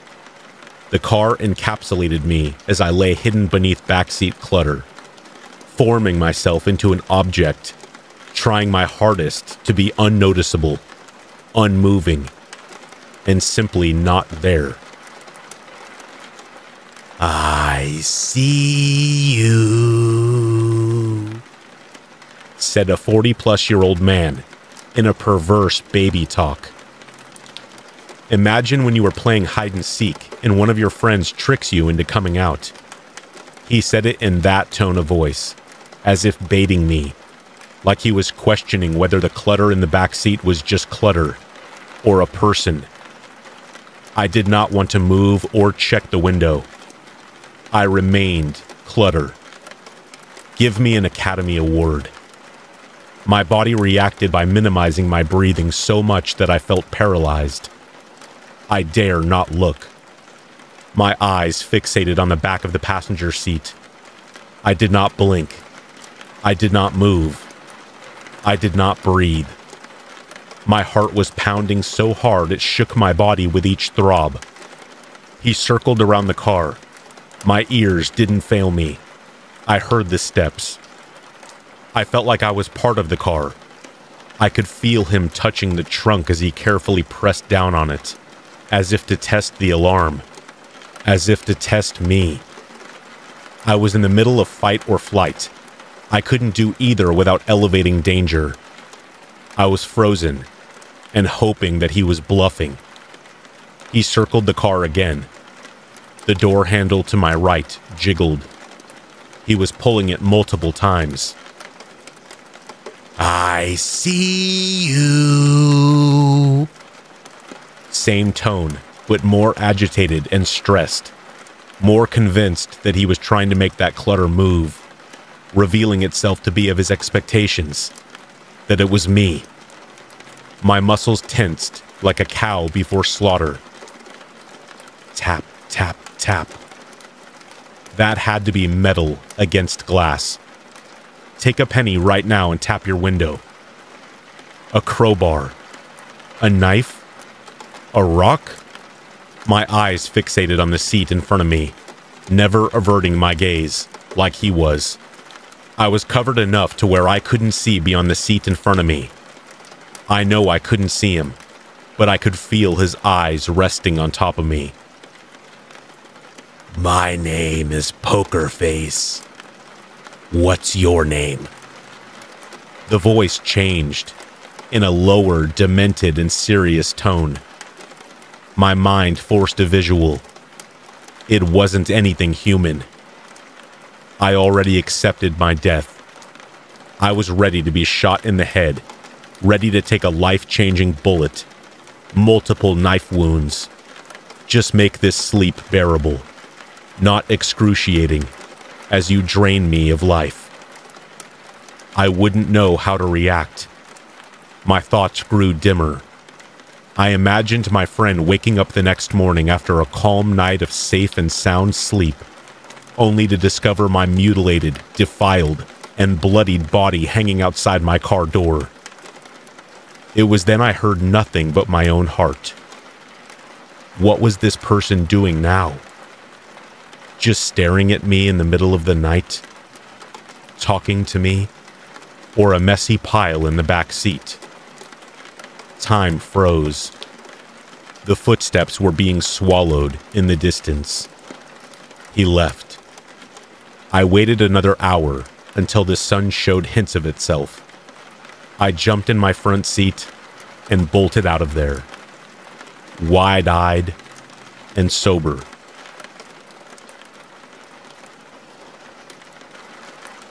So, this happened to my family in early 2002 when my daughter was a baby. My wife and I moved into a new house right after our daughter was born. It was a nice place in the suburbs. I would rather not mention in what city. The house was relatively new and surrounded by other houses with the same exact design and layout. We were still getting used to our new life there with our new baby when one night we heard the baby crying on the baby monitor. We were watching a movie in the living room, paused it, and went into the baby's room. The baby wanted her bottle. I stood in the doorway of the room while my wife tended to our newborn. I was smiling at the sight of this when suddenly my wife made a small sound of fear and surprise. She was looking out the window directly beside the crib. I walked over to her, and she didn't say anything. I looked outside and saw a woman that looked to be about our age standing on our lawn and looking into the bedroom window. I went into protective mode and immediately walked out of the room and towards the front door with the intention of confronting her. My wife shouted before I could open the door. She ran away! I ripped the door open and walked outside. I looked around the front of our house and walked a bit further onto the street, looking in both directions. No sign of her, I decided to walk around the whole exterior of my house to make sure this creepy lady had really left. I walked the perimeter of our house and didn't find her anywhere. I returned to my house to find my wife still holding the baby in our master bedroom, and I told my wife that I did not find her. After a little while of being creeped out and looking out the windows to make sure she wasn't still lingering around, we decided she was gone for good and went to sleep. The next day, we saw the woman again, this time at night. And this time, my wife was in the shower and I was holding our baby in her bedroom. I saw the woman standing in the same spot on our lawn, peering into the bedroom at me holding my baby. I just looked at her for the longest time, and she didn't move. My wife eventually walked into the room with a towel in her hair and approached me from behind, giving me a hug. I said, She's back. Look. She's just standing there. My wife got incredibly creeped out at this point and insisted that we call the police. I was going to, but felt I wanted to confront her again, so I walked out of the room and opened up the front door, which was only about 10 feet away from the baby's room. I walked outside, and the woman was still there. She turned to me. I walked onto our lawn about 20 feet away from her and said, What are you doing? If you don't leave right now, I'm calling the cops. If I ever see you around here again, I will call them immediately. The woman smiled at me and then opened her mouth wide and let out a nightmare inducing scream that sounded as if she was in pain. I knew right away that this woman was ill, like in the head. She turned around and ran away. This was terrifying as I realized she was barefoot. She ran away like a little kid would, arms flailing. I went inside and my wife was already holding the phone. A couple police officers came by the house a short while later, and they said there was really nothing they could do except drive around the neighborhood a few times and keep an eye out for her. They said they would call us if they did see her. About 20 minutes after they left, they called and said they didn't see anyone fitting her description. We were disappointed, but eventually fell asleep.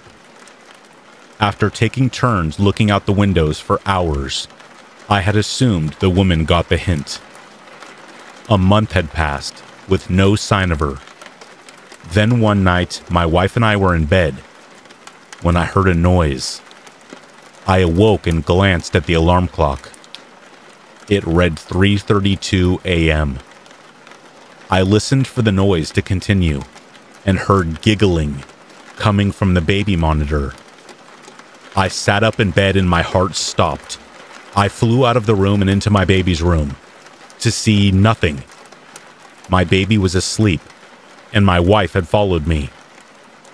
I was very confused for a moment and thought I didn't actually hear anything. Maybe it was just a nightmare. My wife asked what was wrong. I didn't respond for a few seconds and then finally said, Nothing. I thought I heard something.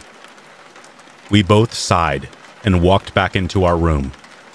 My wife went into the room first and upon entering, screamed and then threw herself backwards into me. I gasped and almost fell backwards onto the floor. My wife started repeating, Oh my god, oh my god, oh my god. My heart pounding, I replied, What? What? I forced my way past her and walked into my bedroom. The woman was sitting Indian style on our bed. I backed up out of the room and slammed the door. My wife ran and took our baby from her crib, and the three of us went outside. As I was closing the front door once we had walked out, I heard our master bedroom door open. Neither of us had our cell phones on us, so we ran to our neighbor's house and started frantically knocking on their front door. They answered very quickly and asked what the matter was. We explained, and they ushered us inside and called the police. The cops showed up shortly after, and they went inside our house. The woman was still there. They said they found her upstairs, sitting in the middle of the hallway, in the dark.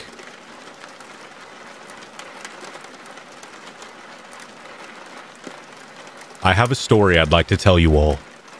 This happened when I was 18, about 16 years ago. I was still living with my parents in their nice house in suburban Colorado. It was getting late one night, around 11:30 p.m. I was on the phone with my girlfriend and had decided to go up to my room and switch phones, using the one that was in my room so that I didn't wake my parents that I now assumed were in bed.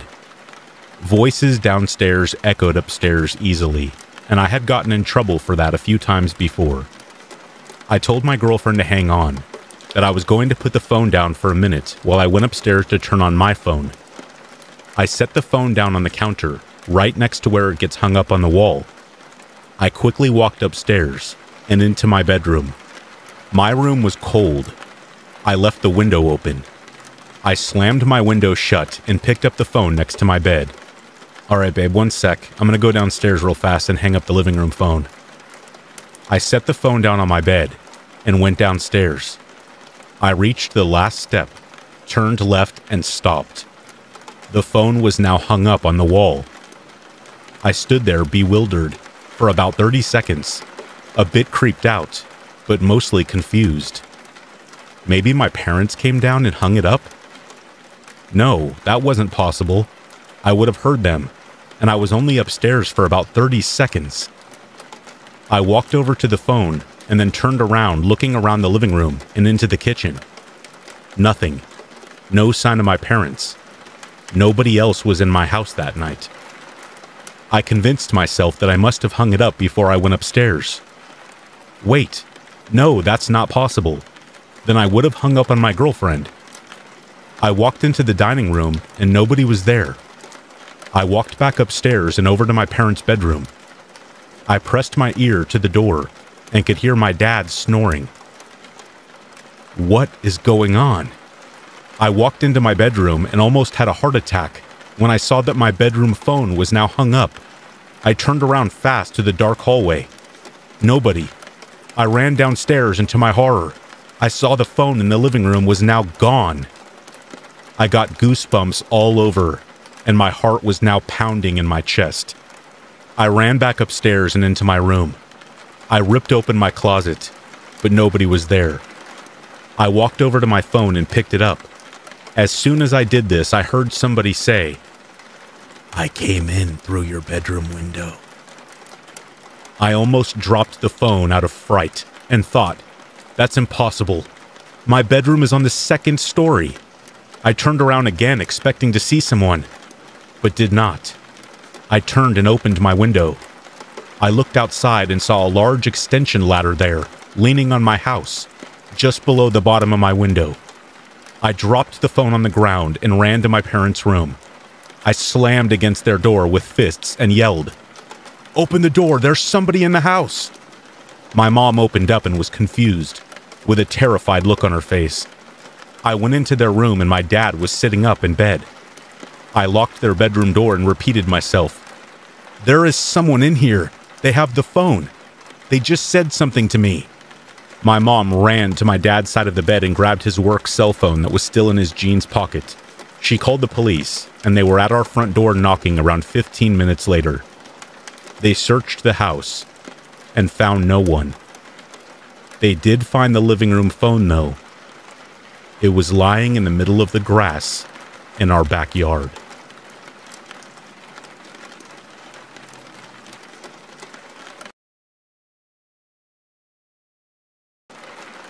Something very creepy happened to me on Christmas. I had celebrated the holiday that morning with my family and went to see my parents. On Christmas night, I had to go into work to finish a proposal I was working on for a new potential client. I obviously didn't want to go into work, but it had to be finished. My work was in a building downtown that is fairly close to a few nightclubs and bars. My office is on the 23rd floor, and in my position, I have an office, but most of this floor is filled up with cubicles in the middle. My office is in the far corner, next to my boss's office. So to get to my office, I have to walk by all the cubicles. I didn't get there late, probably around 8 or 9, but there was nobody else there. This was my second time going in alone, and it was peaceful. If I let my imagination run wild, however, I would get spooked easily. As I walked the path next to the cubicles, I was reminded of what I was missing at home. While looking at all the Christmas lights strung up, decorating people's workspaces, there were no lights on, but it was lit up enough by all these Christmas lights. I reached my office and unlocked it. I went inside, but didn't close the door. My computer and desk faced away from my door, so I couldn't see anyone that approached my door on workdays through the huge glass window that I had. I found this annoying, as I never knew who was knocking until I got up and opened the door. I sat down and began working as quickly as possible so I could get back home. After a while, I'd say about an hour into it, I heard the main entrance door close. I didn't hear it open, but when it closed, it made a noise that was unmistakable. I wasn't spooked at this point, just curious as to who else was unlucky enough to have to come in and finish something. I got up from my desk and walked out onto the floor. I looked around, but didn't see anybody. I said loudly, Hello? Nobody responded. At this moment, I got paranoid and freaked out a little bit because I definitely heard the main entrance door close. Somebody was either here and then left, or was still in here and not responding to me. I was just about to turn around and get back to work when I saw a head sticking up out of a cubicle on the opposite side of the floor, looking towards me. I could see that it was a man, but I couldn't make out any details of his face. I thought he must be messing with me, so I shouted over to him. What a time to have to come in, huh? Hoping whoever it was would stand up and laugh. But they didn't. The man didn't move, and this really scared me. So I tried again and said, I can see you, guy. He didn't move. I wasn't sure what to do next, and was now very on edge. So I felt through my pocket for my keys and they were there. I started walking down the path towards the entrance door, the whole time watching this guy. As I was walking, he just watched me. I looked over at the entrance door for a second, just one second, and looked back. He was gone. After seeing this, I thought, oh my gosh, he could be moving over to me so I jogged the rest of the way to the door and went through it. I jogged over to the elevator and hit the button. I turned around quickly, and the door closed as it made the same noise as before. The door thankfully opened immediately, and I went inside and hit the first floor button. The door closed, and I did not see the guy come out that door. I drove home and told my wife what happened. I had to call my boss and tell him as well, so that I had a reason for not finishing my proposal that night. He was understanding, and I went back in two days later with everyone else. I never found out who the guy was or what that was all about. Nothing was stolen or tampered with, to my knowledge.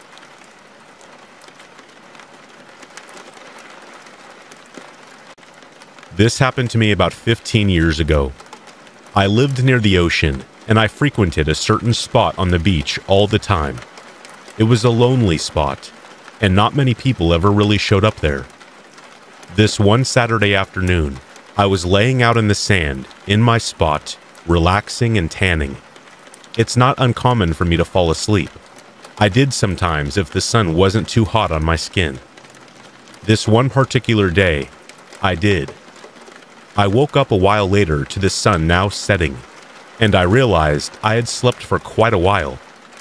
I looked to my left and saw a woman sitting near me in the sand, but not a towel. She was wearing jean shorts and a bathing suit top.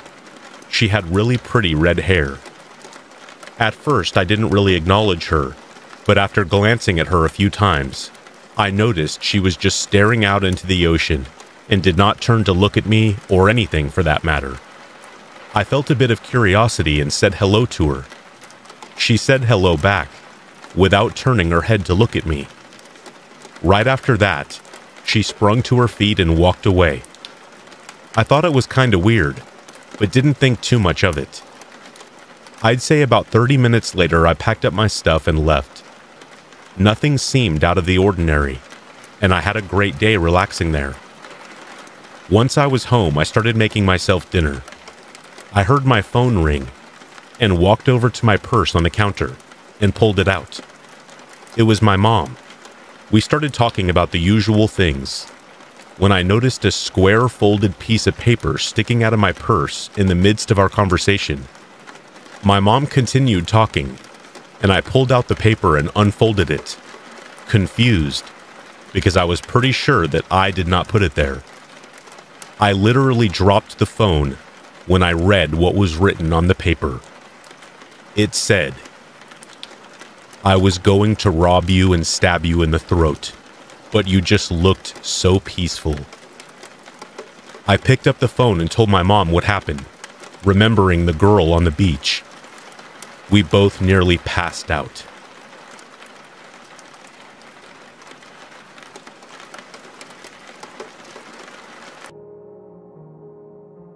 Hi, my name is Trevor, and this is by far the scariest thing that has ever happened to me. This happened in May of this year.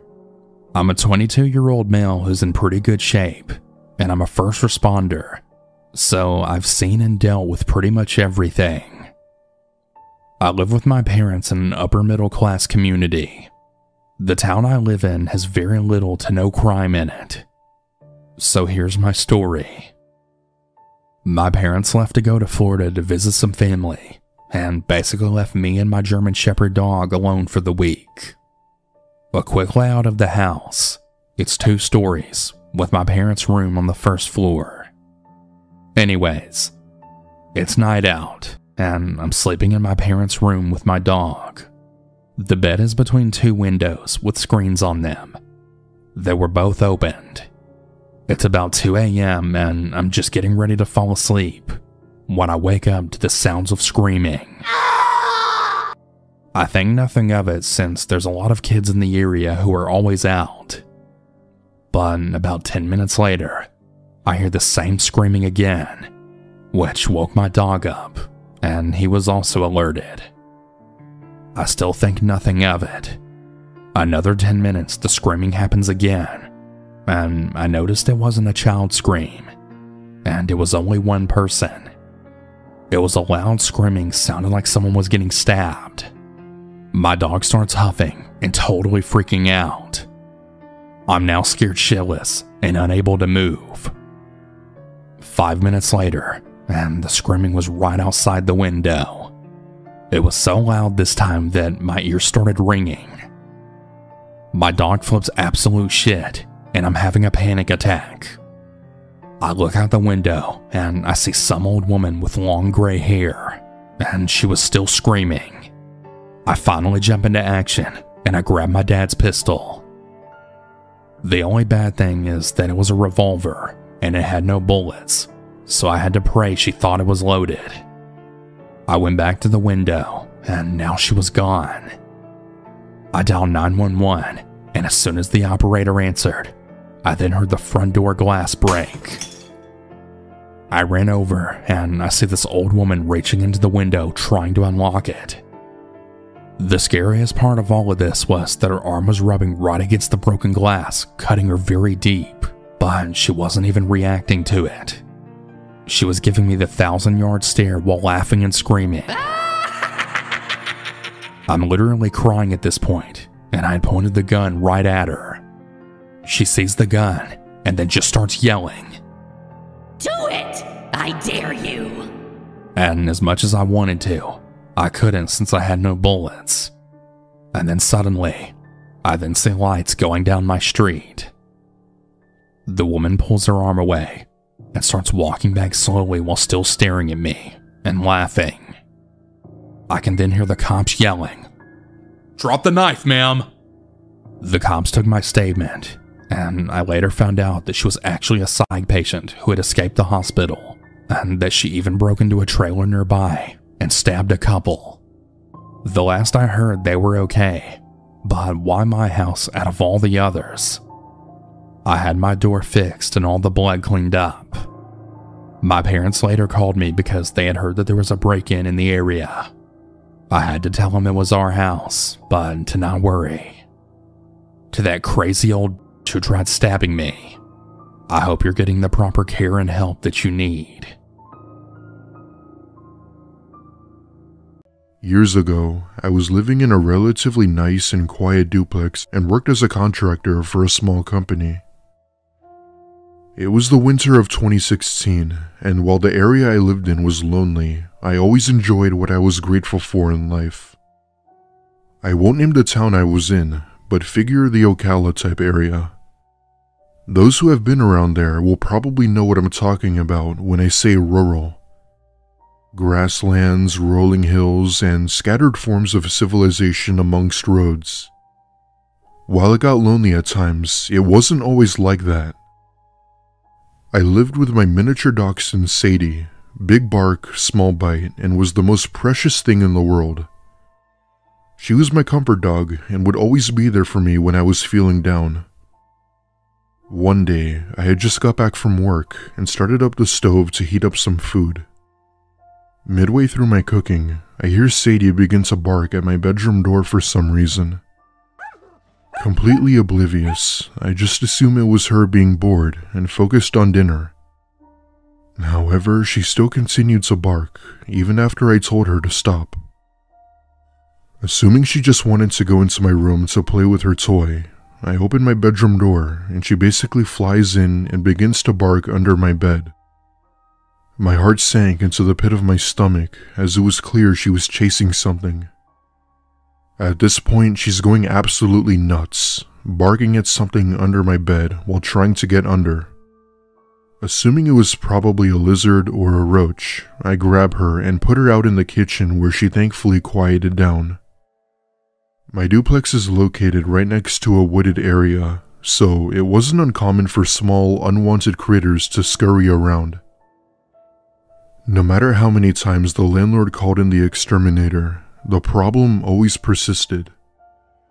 After I ate, I put my plate in the dishwasher, got ready for bed, and went to sleep for about an hour before waking up to Sadie barking. This somewhat bothered me, as I had to work early and I couldn't sleep with her barking. As I sat bolt upright, trying to grab her, she then jumps off my bed and begins to bark under the bed again. Now I felt that she was trying to tell me something, and so I get up and look under my bed with my flashlight. Laying under my bed was the face of a man smiling at me with these abnormally large eyes. He was clearly older than me, I would estimate 50s, but I didn't see all of his facial features. He puts his finger to his lips and makes a shushing sound. That's when I scream my head off and yell at the person hiding under my bed to get out of the house. When I didn't hear a response or see him come out, I ran to the bathroom and locked the door behind me. For those wondering, yes, I took Sadie with me. The reason why I didn't go out the front door was because I had already locked it and my key was on the other side of the bed along with my phone. Within a minute, I could hear his heavy footsteps approach the bathroom door, followed by a light tap. He then proceeds to mess with the lock on the bathroom door, trying to open it with God knows what. Keep in mind that I haven't fully seen this guy, so I didn't know what he had on him. After some time of him trying to pick the lock, he says in a slow, creepy voice, I know you're in there. You know I could break this door down in two seconds, right, ma'am? That was when I realized that this person was dangerous and that he wasn't going to give up that easy. The only thing I could do was to jump out the small glass window and out onto the street. Then, as if things couldn't get any worse, the window wouldn't move up due to the ice surrounding it. It was frozen shut. Not knowing what else to do, I go into the shower and unscrew the shower head and use it to smash open the window. I go through first and trample onto the snow with my shoulders bleeding from the broken glass. I carefully grab Sadie, making sure she didn't get hurt, and from there we go over to the neighbor's house and call the police. The neighbors were hesitant before saying yes, but wanted to stay out of it as they didn't want to get involved. The police had come sooner than expected and went into the house and came out with the guy. However, he didn't try to get away. He kinda just went with it, accepting his defeat. After he was detained, one of the officers had come to me and told me something disturbing. The minute they went into my room, everything was wiped out. My bed, furniture, TV, and computer were all destroyed and ruined. Turns out, he had also managed to get in the bathroom by breaking down the door. The bathroom has one of those strong metal doors, so for him to break it down just shows how strong he was. The cops had given me some criticism about how I went about reporting this wrong and that I shouldn't have locked myself in the bathroom. At the time, I felt that he was being insensitive or blaming me for my wrongdoing. However, then I remembered that these were police and probably deal with situations like these every day. If I hadn't thought of the idea to break the window, God only knows what would have happened to me. Hurt, kidnapped, or worse. I haven't heard of the man since, and I had since moved out of that area. Sadie had unfortunately passed away in late 2018 due to a cancer tumor that I had caught during its late stage. While she may not be with me now, her soul still remains, and I thank her for alerting me about the man. I love you, Sadie. I live alone in a somewhat busy neighborhood. This happened about a year ago. It was the winter time, and I live in a climate that typically gets a lot of snow. Not only was there already some snow on the ground, but it was also very cold. One night, I was at home by myself when it started to snow a lot. I had heard about a large snowstorm that was supposed to hit the area, so I had no intentions of going anywhere. Luckily for me, I was working at home for the next several days. Pretty soon, the snow really started to come down. I looked out my window occasionally to see more snow each time. It was very heavy snowfall as well. Soon it was nighttime, and I was really glad that I didn't have to be anywhere. Occasionally, a snowplow would drive down my street, but other than that, it was very quiet. At probably like 7 p.m., suddenly there was a knock at my front door. I found this to be pretty odd. I walked over and looked out of the window. A young woman was standing there. I didn't see a car or anything, so I didn't know where she had come from. But at my house, from my front windows, I don't have a very good view of the street or even my driveway. I didn't know who she was, and she wasn't really dressed for the weather. She just had pants and a sweatshirt on and appeared to be in her early 20s. I opened the door and asked her what she was doing out in this snowstorm. The woman asked me if she could come inside my house to warm up. Her story was that her ex boyfriend kicked her out of his car and then drove off, or something like that. I asked her if there was anybody that could come and pick her up or something. She said that she had just called her mom and she was going to come. I didn't really like the idea of somebody who I didn't know coming inside of my house. For some reason, I felt like it was a bad idea. But I did feel bad for her with it being a snowstorm and everything, so I allowed her to come inside. I told her she could wait right inside the door. When you enter the front door at my house, it's kind of between the living room and dining room. The front door is on the left side of the house. The living room is to the right, and the dining room is straight ahead. After the woman entered, she made a beeline walking straight into the dining room. I was really confused, but I didn't say anything. I just watched her. She kind of said something quietly, like, Sorry, one second. Then she walked all the way to the back of the house and was going out of my sight. I started to walk closer to her to see what she was doing. As soon as I looked around the corner and saw her again, she was at the back door of my house and opening it up. My first thought was wondering why she was going back outside if she wanted to come inside so badly. But that thought was interrupted when I saw the door open and two men suddenly walk right inside of it. I couldn't believe it. At that point, for me, my instincts just kicked in. I instantly turned and ran the opposite direction. I ran towards my hallway where my bedroom and bathroom was. I heard multiple footsteps coming after me, but they were still a ways back. After I got inside my bathroom, I closed the door and locked it, but just seconds later, somebody tried opening the door. There were multiple people outside of my bathroom now. Nobody said anything though, including me.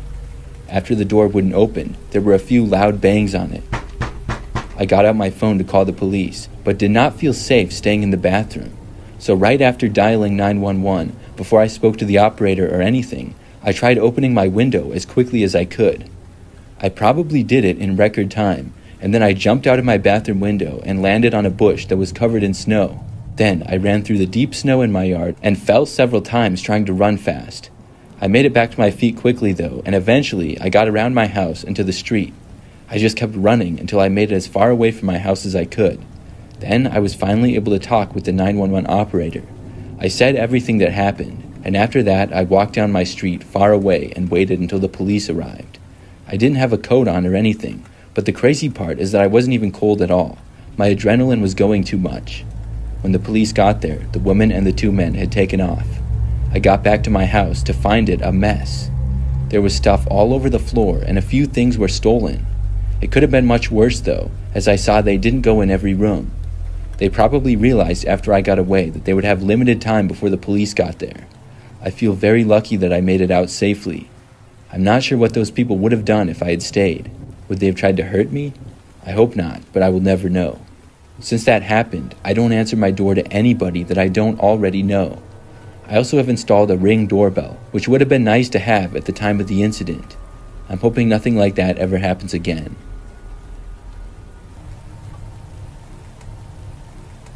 This story happened years ago when I was still in high school.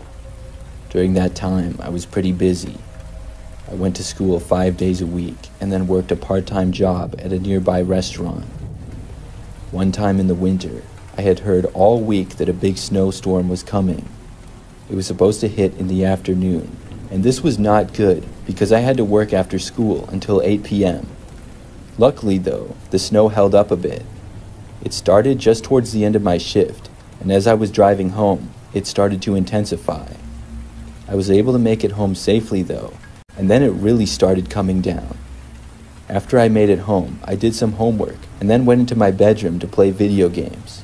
It was a Friday night, so I had no school the next day. I also didn't have to work. My parents went to bed at probably like 10 or 11, but I wasn't planning on going to bed for a while. My bedroom was on the front side of the house and across and down the hallway a little bit from my parents'. Usually, I had my windows covered, but on this night, I left the cover half open. I enjoyed seeing the snow fall and found it to be relaxing. So I was there having a great time, just gaming in my room during a snowstorm, when something really strange happened. Something out of the window caught my eye, so I glanced out to see. What I saw was a man walking down the sidewalk in front of our house. He was pretty far away, but I didn't recognize him. I knew most of our neighbors, and I wondered what this guy was doing out walking at almost midnight in the middle of a blizzard. I kept my eye on him as he continued to walk down the sidewalk. But then he turned and began walking into our front yard. I thought this was really strange, and I paused my game to see what the man would do. He then walked right into our front yard and then cut through the grass and went towards our front step. My heart started racing when I saw this. I was still trying to figure out what exactly was going on. He was now out of my sight, though, so I carefully and quietly left my bedroom. I went down the hallway and then stopped at the end of it. I looked around the corner carefully. We had a large front window that had a shade over it, but you could still basically see people on the other side, or at least you could see their shadows. I didn't want him to see mine. He was standing at the front step, I could tell. I was expecting him to knock on the door or ring the doorbell any second, but he didn't. He was just standing there in silence. This went on for probably a minute or two. Then the man started walking away. He was going back through the yard, and then he stopped at the window. I jumped back when I saw this. The man was standing right next to the living room window, and possibly trying to look in. I really couldn't tell, though. I quietly went back into my bedroom down the hallway.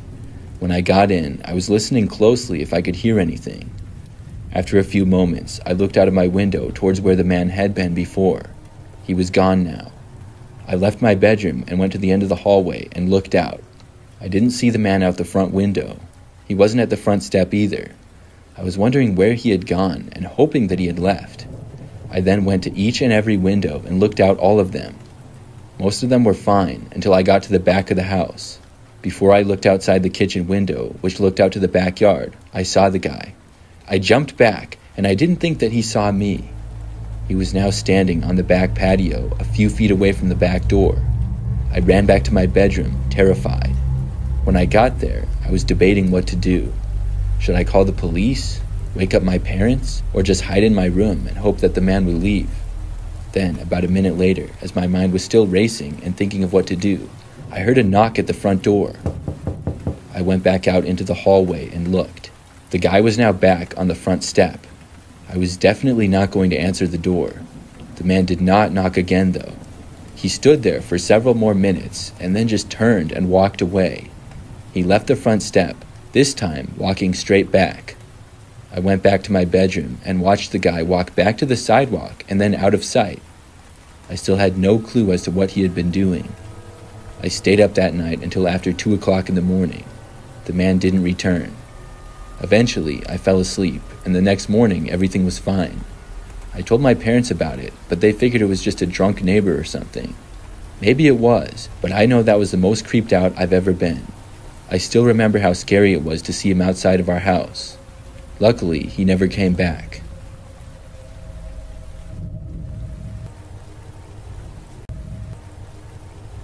This story occurred when I was driving back home from work one night.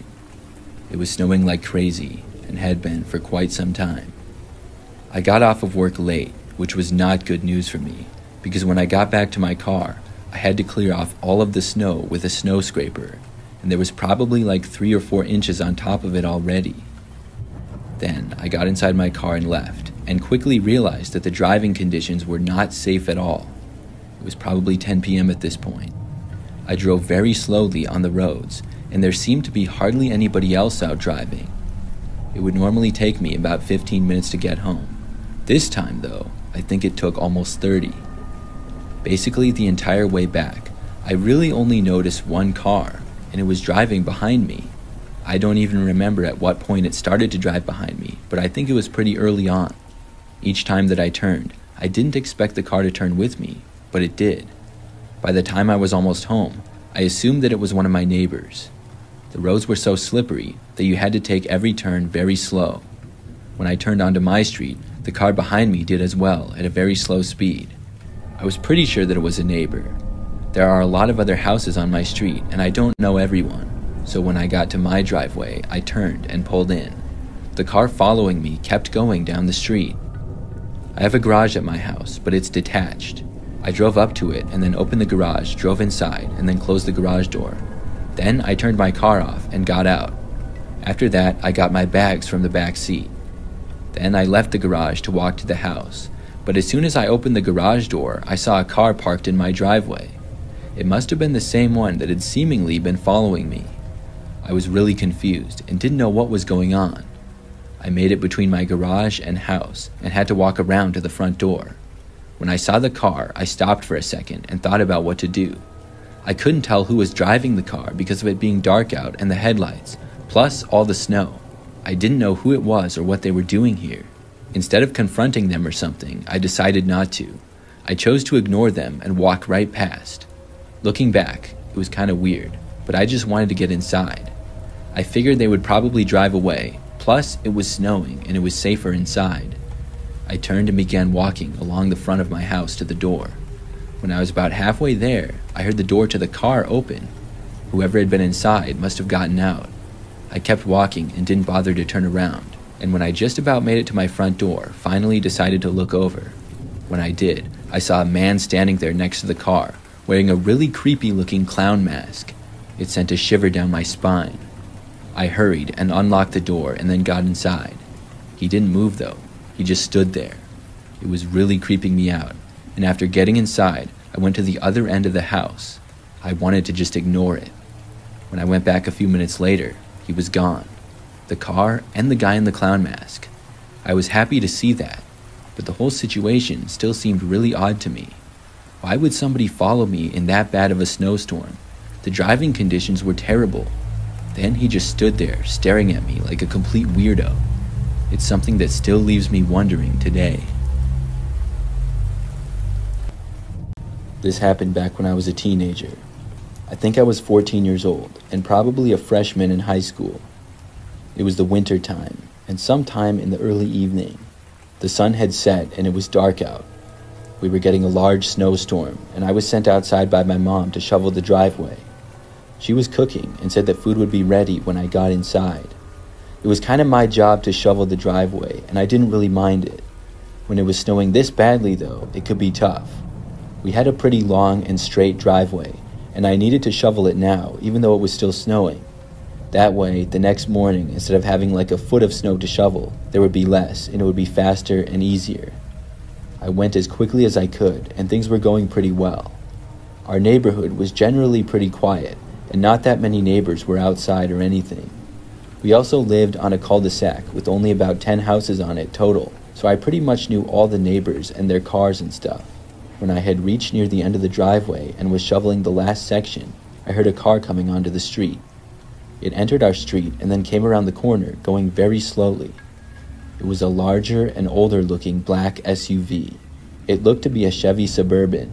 I had never seen it before and wondered whose it was. It slowly drove past me as I shoveled and then went to the loop of the cul de sac. It went around there and then started to come back down the street. At that point, I guessed that it was somebody who was on the wrong street. They were probably just going to go back around, but they were going extremely slow. Then they started to slow down in front of our driveway, and it kind of creeped me out a little bit. They moved past though, but then pulled over on the side of the street right in front of our house. It was only about 50 feet away from me. I wondered who on earth it could be. In fact, I wanted to just run back inside of my house right then and there, but I figured that would be weird and decided to just keep shoveling. The car sat there with the engine running and nobody got out of it. I glanced, but I couldn't see who was inside at all.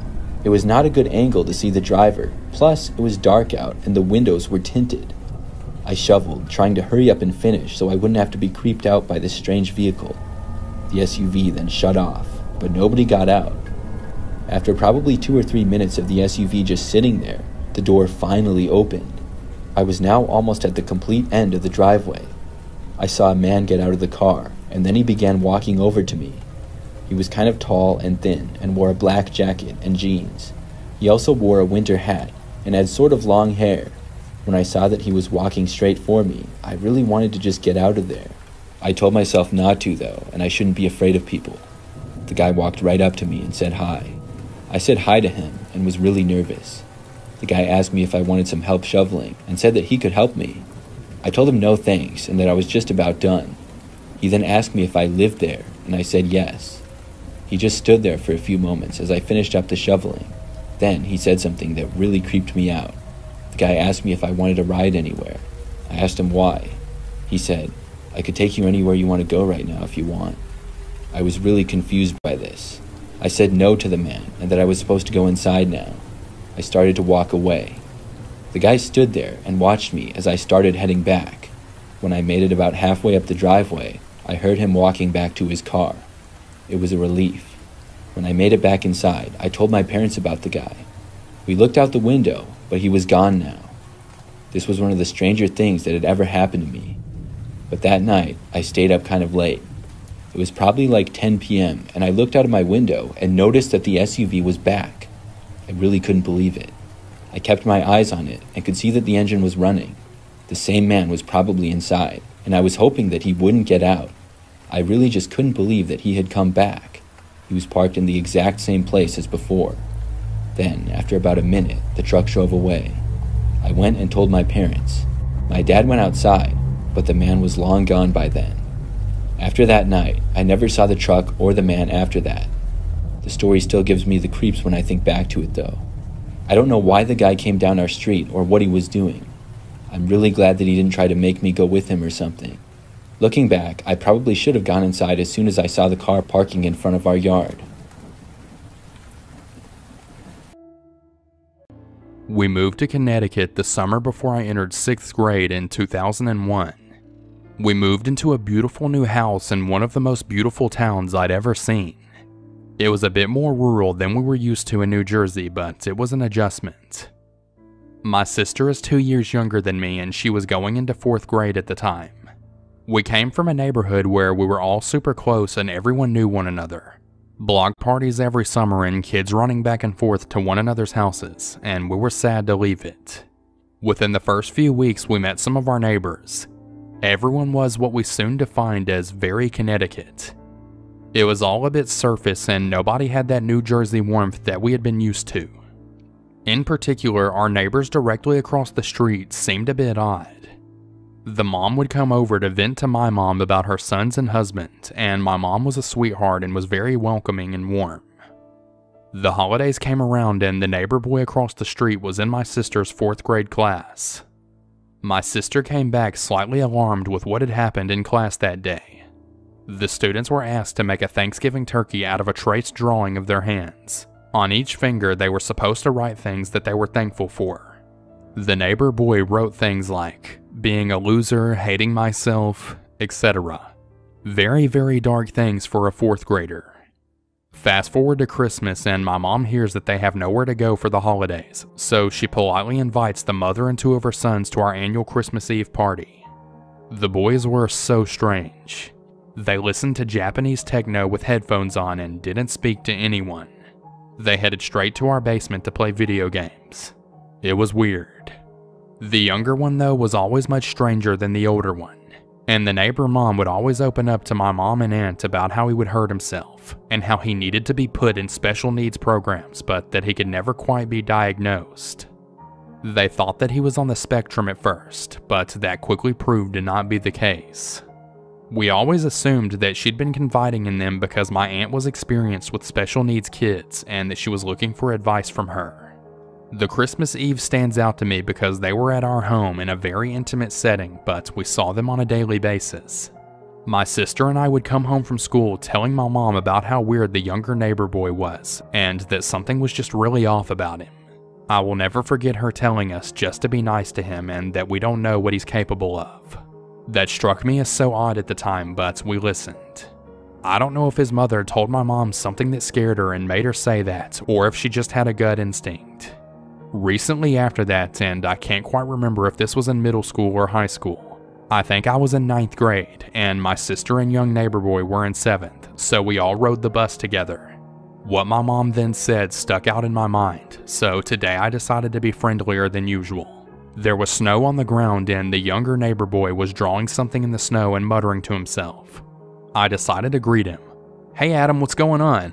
Nice morning today, huh? He made no eye contact. I'll bomb you, he said, still making no eye contact. We let it slide. We came home and told my mom. She reiterated, Just be nice. We have no idea what this kid's capable of. Keep in mind, we were kids. We didn't know what to take seriously and what not to. I wished we had done more. Keep in mind, he wasn't someone who was bullied or made fun of. He was always off in the sense that he could not hold eye contact or hold a conversation or even a hello. Kids didn't make fun of him. He was a loner, but it seemed to be by choice. I never knew why we were cautious or afraid around him other than the fact that he showed zero warmth and zero humanity. We knew he had special needs, so we never really second guessed anything and just tried to be polite as possible. When the bus would drop us off at all of our respective houses, he would run all the way up his driveway on the hill with his hands by his sides, and then would turn around and make this weird hiss noise at everyone, making claws with his hands. It was always so odd, but again, we were kids, and there's always a couple of kids in school who are a little strange. We took it as just that. They were invited to several Christmas Eve parties, so memories kind of blend here. One year, the neighbor mom started screaming at my innocent grandmother for being a Yankees fan as she was a Red Sox fan. It was beyond strange because my grandma is the cutest little lady of all time and was in no way trying to argue over sports. It was though as the woman clearly had a weird switch go off. She was always nice to me, but I'll be honest, we always rolled our eyes every single time my mom invited them over. It was always such forced conversations with her, and as a teenager, I wanted nothing to do with being cornered into another chat. I think she must have just been lonely. The following and final year they were invited to Christmas Eve was when she got into it with my mom about having guns in the house. The boys only attended the first couple of Christmas Eves, so it was just the mom this time around. The topic of guns came up. The neighbor mom started telling my mom about how she has guns in the house and how she takes her younger son to the shooting range all the time. My mom said that she didn't agree with having guns in the house. She wasn't trying to argue, but the neighbor mom got out of hand about it. Very defensive and ultimately getting aggressive about how she grew up in New Hampshire and that's just the way of life out there. The neighbor mom told us about how brilliant that her younger son was, and that he hacked into some of the government's highest levels of security, and that the CIA showed up on his doorstep. We have absolutely no idea if this story is true or not, but this is what she told us, so it became our ongoing joke when anything strange happened at our house. There were a few odd things that happened throughout the years. Our internet had clearly been messed with, lights would flicker in the house, and we would joke that it was the younger boy each time.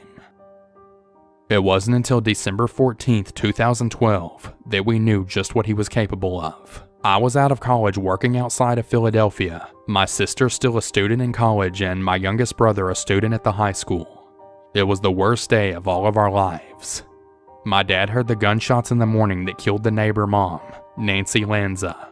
He assumed it had been a hunter in the area, maybe a little closer than usual. That is until the FBI showed up and had to evacuate the house as snipers had lined our driveway.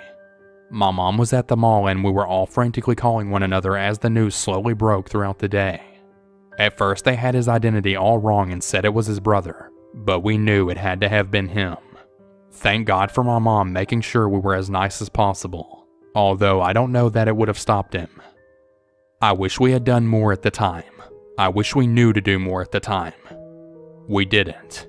We didn't want to assume the worst out of someone, but I wish we had. Approximately 20 students and 6 teachers were killed at Sandy Hook Elementary School that day. The worst act of evil I have ever experienced so directly in my life, and I hope I will never experience again.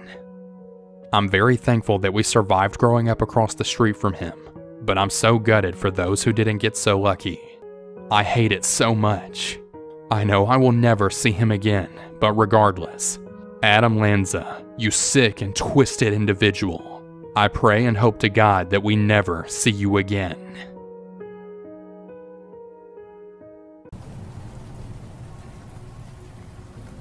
I used to work at a gas station many years ago. I was the clerk in the convenience store that we had, and it was open 24 hours. So, as you can guess, I worked overnights, and when I did, I would be all by myself. Now, the gas station was located across the street from some stores, such as Target and a few others, so the area would get a lot of traffic during the day. A highway was also nearby, and the gas station was on a corner. At night, though, all of the other businesses nearby closed by 10 or 11 Things would be very quiet until probably 6 a.m. or so. I worked almost every night for a while and was getting used to being there overnights.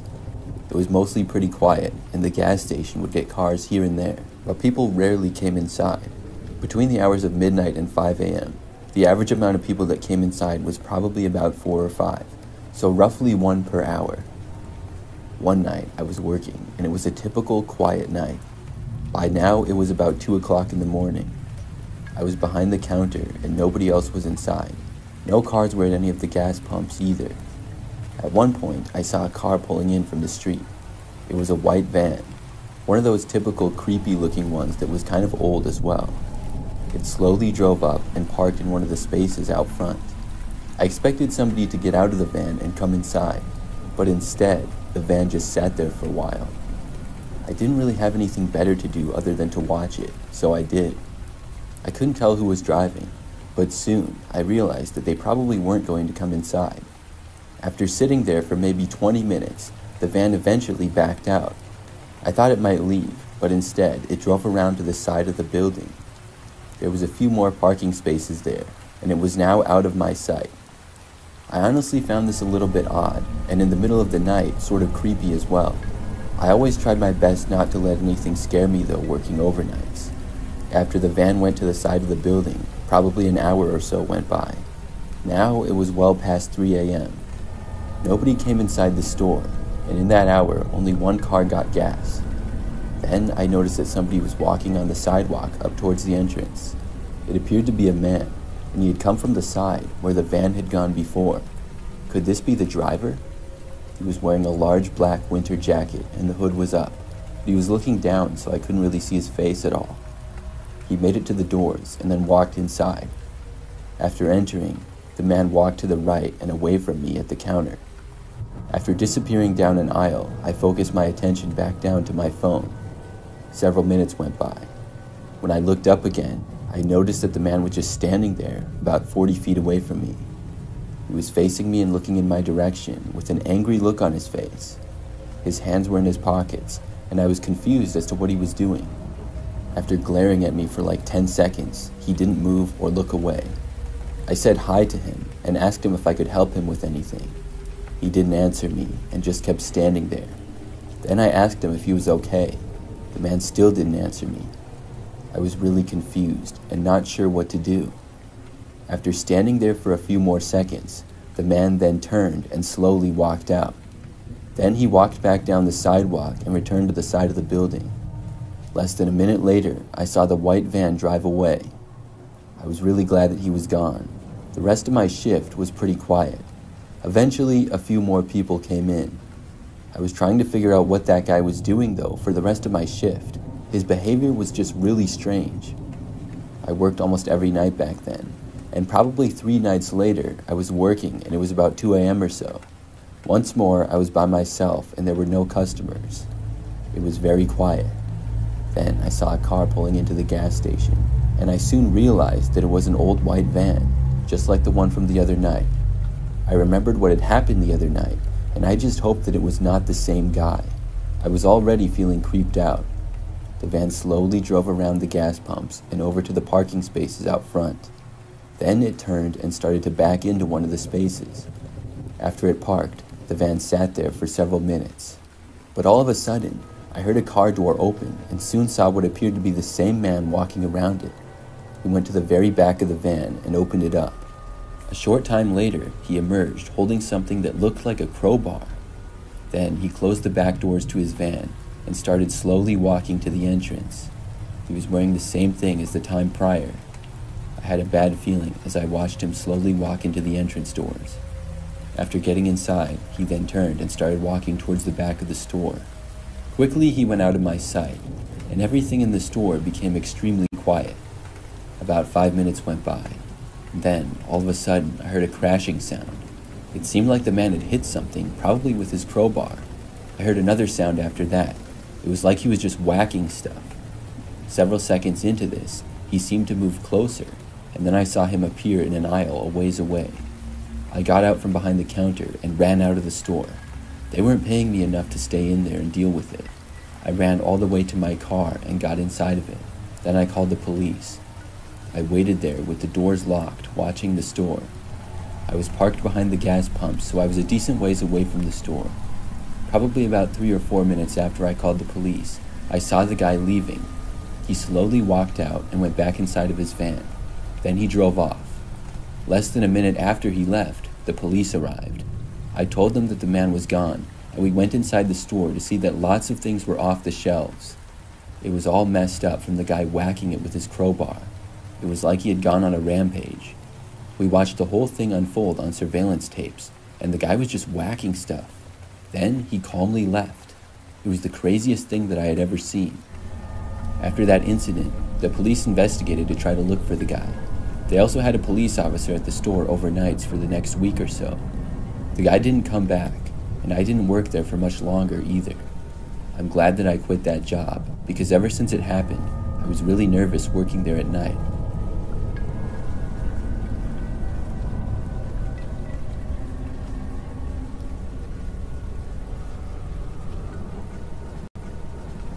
This happened back in 2003. I used to work at a Walgreens, and if anybody doesn't know, it's a popular pharmacy store chain that also sells lots of other items. The stores are not that large usually, and generally never too busy either. Most of the time, there's a pretty calm feeling inside. The store that I worked at used to be open 24 hours. I'm not sure if it still is, but I know that it was when I worked there. So usually, when I was working overnights, I would be all by myself for most of my shift. There really wasn't a need to have anybody else there, because I could handle everything, and we never got that many overnight customers. I was also able to walk to and from work, which was very nice. I had an apartment that was just down the street and a couple of blocks over, so it would only take me about 10 minutes.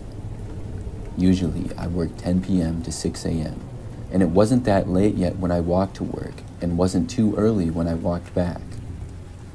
One time when I was working an overnight shift, everything was going normal, and it was about 1 a.m., I believe. I remember that I heard the automatic doors opening and glanced over to see a woman entering the store. She appeared to be about 40, had dark brown hair, was maybe 5 foot 2 or 5 foot 3, and pretty thin. After entering, the woman looked in my direction and said hi, and I said hi back to her. She then walked down one of the aisles, and I focused my attention elsewhere. I was just standing behind the counter at the checkouts. We only had two check lanes, but most of the time only had one open. Several minutes went by, and I occasionally saw the woman, but I wasn't watching her or anything. She just seemed to be shopping normally. But at one point, I was just casually looking around, and I saw the woman standing like half behind an aisle.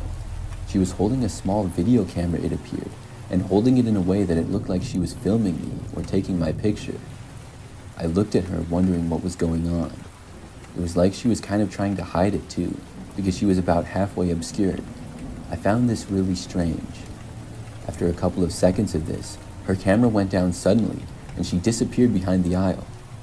I thought that it was odd, but not the biggest deal. About a minute later, the woman walked up to the left near the exits.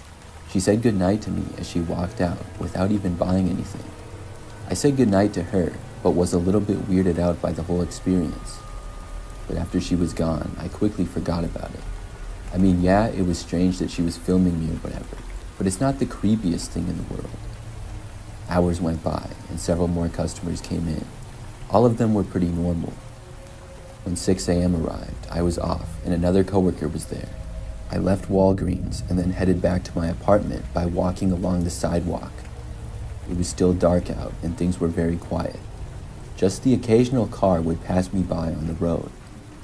As I was walking back, though, one thing that was a little different was that I heard somebody walking ways behind me.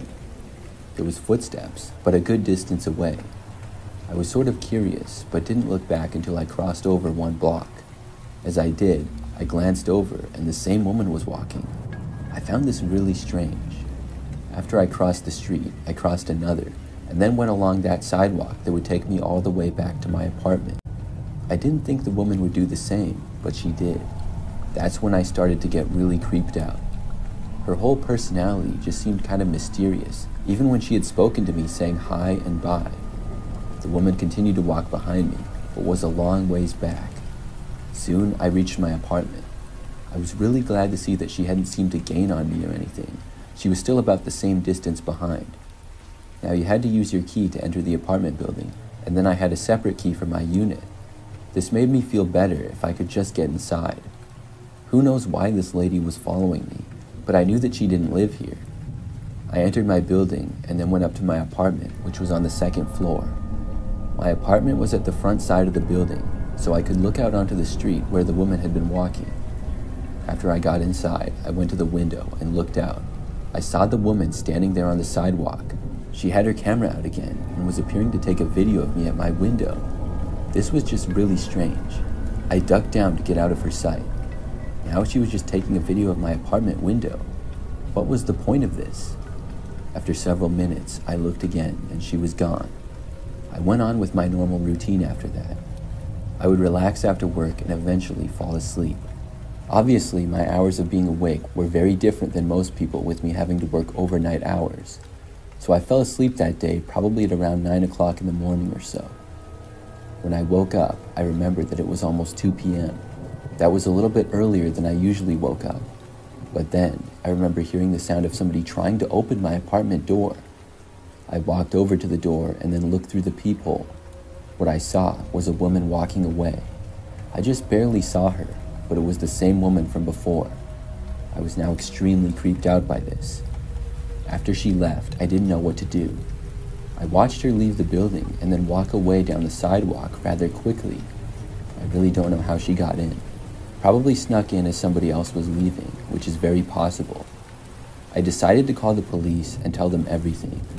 They came out to investigate, and I gave them all the information that I could. I didn't really know what else to do. They said they would look into it, and after that, I never heard anything more. I also never saw the woman again. It still creeps me out when I think about it. Obviously, I don't work at Walgreens anymore and haven't for many years. I also don't live in that apartment or even the same city anymore. I still wonder what that woman was doing though.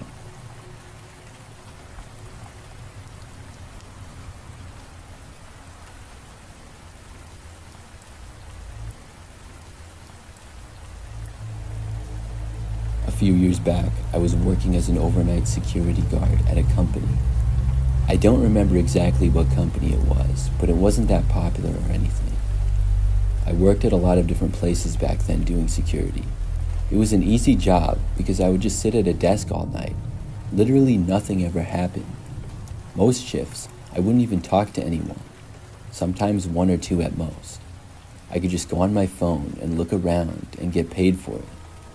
But at this one particular company, it was a pretty standard office building for the most part. Now, inside was a lobby, and I would sit at a desk in there and had a computer with some basic information. The building was not really near anything else in particular and was slightly more secluded. The only other people there overnight was a security guard and a janitor. The other security guard would mostly just be outside, and I knew both him and the janitor and didn't see them very much other than when I would arrive or leave, or when the janitor cleaned the lobby. When I was working behind the desk one night, I would guess that it was around 1 o'clock in the morning or so. As I sat behind the counter, I occasionally would look around. My view was mainly of the front door and window next to it. Outside of that was a parking lot which was empty. Behind the parking lot was a fence. I was just casually looking around when all of a sudden I saw this guy walk to the door. He looked right inside and faced me. It was really strange to see because nobody had ever come to the door before, but I then realized that this man who was standing at the door was smiling the creepiest smile I had ever seen. His eyes were so wide, like they were about to pop out of the sockets. It was very unsettling. He had to be joking or something. The man did not try to enter the building, though. He just stood there at the door and kept staring at me. I wasn't sure what to do, so I waved at him. He did not wave back to me. He then moved out of sight, and I couldn't see him anymore. I was really confused by what had just happened.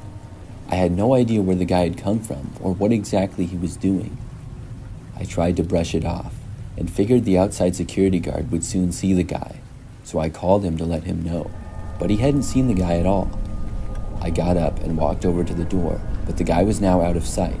I went back to my desk and was there for the next 30 minutes or so. Then the guy was back. I just looked up, and there he was, standing at the door and staring at me again with the same creepy smile. This time, I got up, but as soon as I stood up, he moved out of sight. I walked over to the door and opened it up. The man was now gone.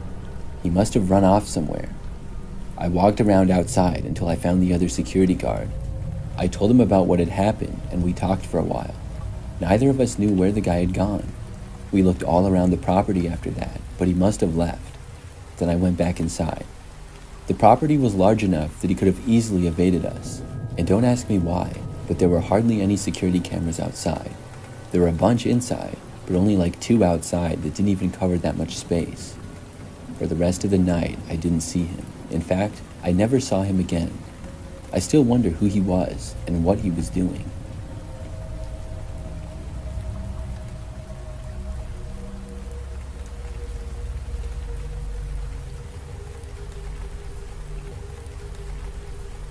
I used to work in a small convenience store in the city. It wasn't quite downtown, but was pretty close. There would be lots of people walking down the sidewalk during the day, and at night there would still be a decent amount of people out, especially after the bars closed nearby. So our store was open 24 hours. It was pretty small, but loaded with all kinds of snacks and drinks and things like that. There were probably five aisles, and then I would be behind the counter at the far end of the store near the doors. I worked at the shop for several months and usually worked overnights. Sometimes it would be pretty busy, and other times would be really quiet. You never really knew, and it depended on a lot of things. But between the hours of 3 a.m. and 5 a.m., they were generally the quietest. so sometime I was working and I was by myself on a typical night. It was a little bit after 3 a.m., and the store was empty. Occasionally, I would look out the window to the street, and it seemed dead quiet. I was just sitting there behind the counter, going on my phone, and pretty soon I heard the door open and saw a woman walking in. She entered the store and walked down one of the first aisles. Several minutes went by, and she seemed to just be shopping around like normal. Eventually, when she came up to the counter, she put several items down. When I was starting to scan them, she told me that she only had $3 and asked me if I could give her a deal. I don't remember exactly what she was buying, but I remember that it added up to like $15 total. I told her that I couldn't do that. Obviously, she would have to put some things back. I said she would only be able to get things that added up to $3. It seemed like common math to me. The woman got angry, though, and said that she wasn't going to pay for anything. I told her to leave then, and she stormed out of the store in anger. Every now and then, customers would be rude or try to get free stuff. I mean, being in a city in the middle of the night, all kinds of people would come in. I was somewhat used to less than ideal customers and thought that I knew how to deal with them. Probably 20 or 30 minutes went by. No more customers came in during that time. Then the door opened and I saw the woman come back, but behind her was a man. This guy was like six foot five, had long stringy hair and a goatee. I'm assuming he was the woman's husband or boyfriend. He walked right up to me looking all angry and then accused me of being rude to the woman. I don't remember what her name was, but the guy started cursing me out and didn't really give me any chance to talk. I could smell the alcohol in his breath as he verbally ripped into me. The woman was just standing back a few feet and adding in a few words of insults here and there to me. I remember that after them yelling at me for like a minute straight, the man wanted to, quote, take it outside with me. I told them both to get out of my store before I called the cops. That's when the guy suddenly shoved me backwards from over the counter. I wasn't ready for it, and to be honest, he was a strong dude. I fell back and it knocked me over. When I got up, I saw the man was right up at the counter wanting to fight me. I moved over to the right, and we had an alarm back there, which I pulled. It was a very loud alarm, and the sound filled the entire store. It was also super annoying, and the guy then backed away from the counter and grabbed some random things off the shelf and threw them. He then knocked over a stand of drinks and went into an aisle and grabbed some more things off the shelves.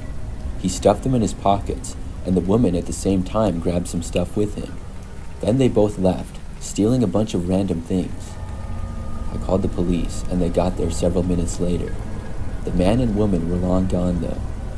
The only thing I could do was give a description in my account of what happened. Luckily, neither of them came back while I was working again.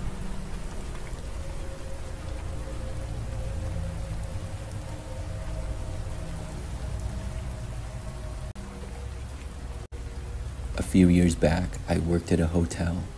When I started, I was working at the front desk during overnight hours. The hotel was pretty average size, maybe a little bit large. We don't have any restaurants or bars connected or anything like that, but have lots of rooms. I would sit behind the front desk, and most of the time overnights, nothing happened. Here and there, people would come or go, but most people didn't need to talk to me. This made my job really easy, and I didn't mind being up all night. The event that I'm going to tell you about occurred at just after 2 o'clock in the morning one night. I was working behind the front desk, and I faced the lobby and elevators.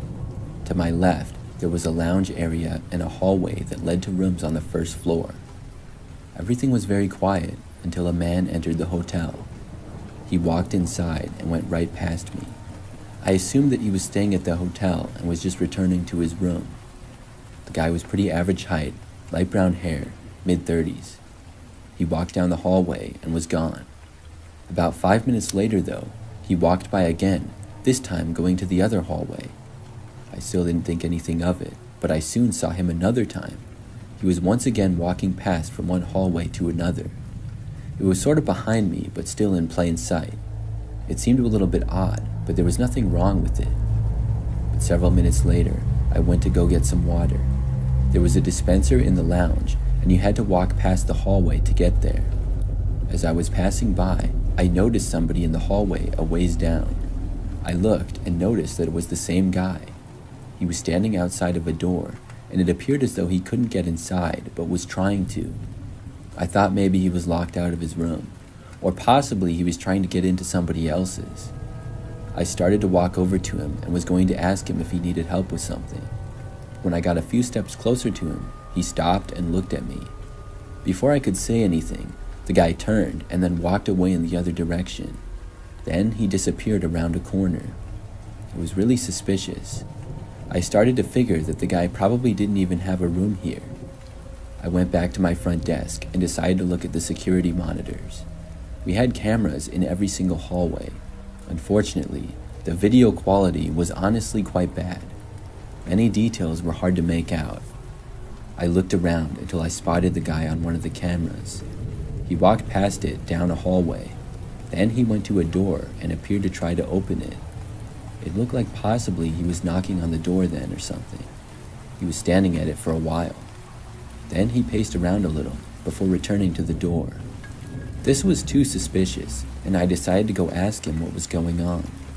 I got up and walked over to where the guy was. The hallways could get a little bit complicated on the first floor. The second and third floor was very simple, but the first floor had more hallways. I walked to the one that the man was at. When I reached the beginning of the hallway, I saw him. He was a ways down, probably almost a hundred feet. Almost as soon as I was within sight of him, he looked over to me. I asked him what he was doing. The guy just started sprinting towards me then. He appeared to be running as fast as he possibly could. This wasn't what I was expecting, and I moved back and started heading towards the front. The guy was still running and quickly approaching me. By the time I got back to the lobby, he was a lot closer. I could hear him running. I decided to run out of the hotel and see if the man would. After I made it outside, I realized that he did in fact follow me out, and he was also a lot closer than I expected, now only about 40 feet away probably. I didn't think that I would be able to get to my car on time if he was chasing me, so I ran across the street. Across the street and a little ways down was a 24 hour gas station. So I ran all the way there, and when I got there, I went inside. The guy hadn't crossed the street and stayed in the hotel parking lot. I think he went back in the hotel after that, but I called the police.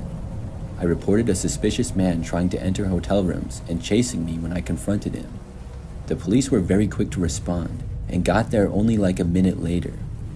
They entered the hotel which the man was still inside of. He tried running away, but was caught and removed from the hotel. He wouldn't say what he was doing there or why he was trying to get inside of rooms. After that, I talked with police for a while and then returned to work. I was really creeped out by the whole situation, but grateful to be alright. That was an experience that made me want to stop working overnights, and I did shortly after.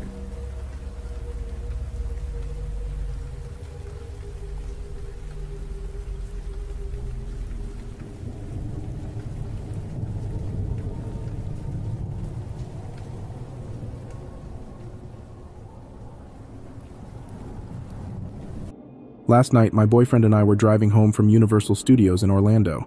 We were rerouted away home we've never went before, and we're traveling in basically the middle of nowhere.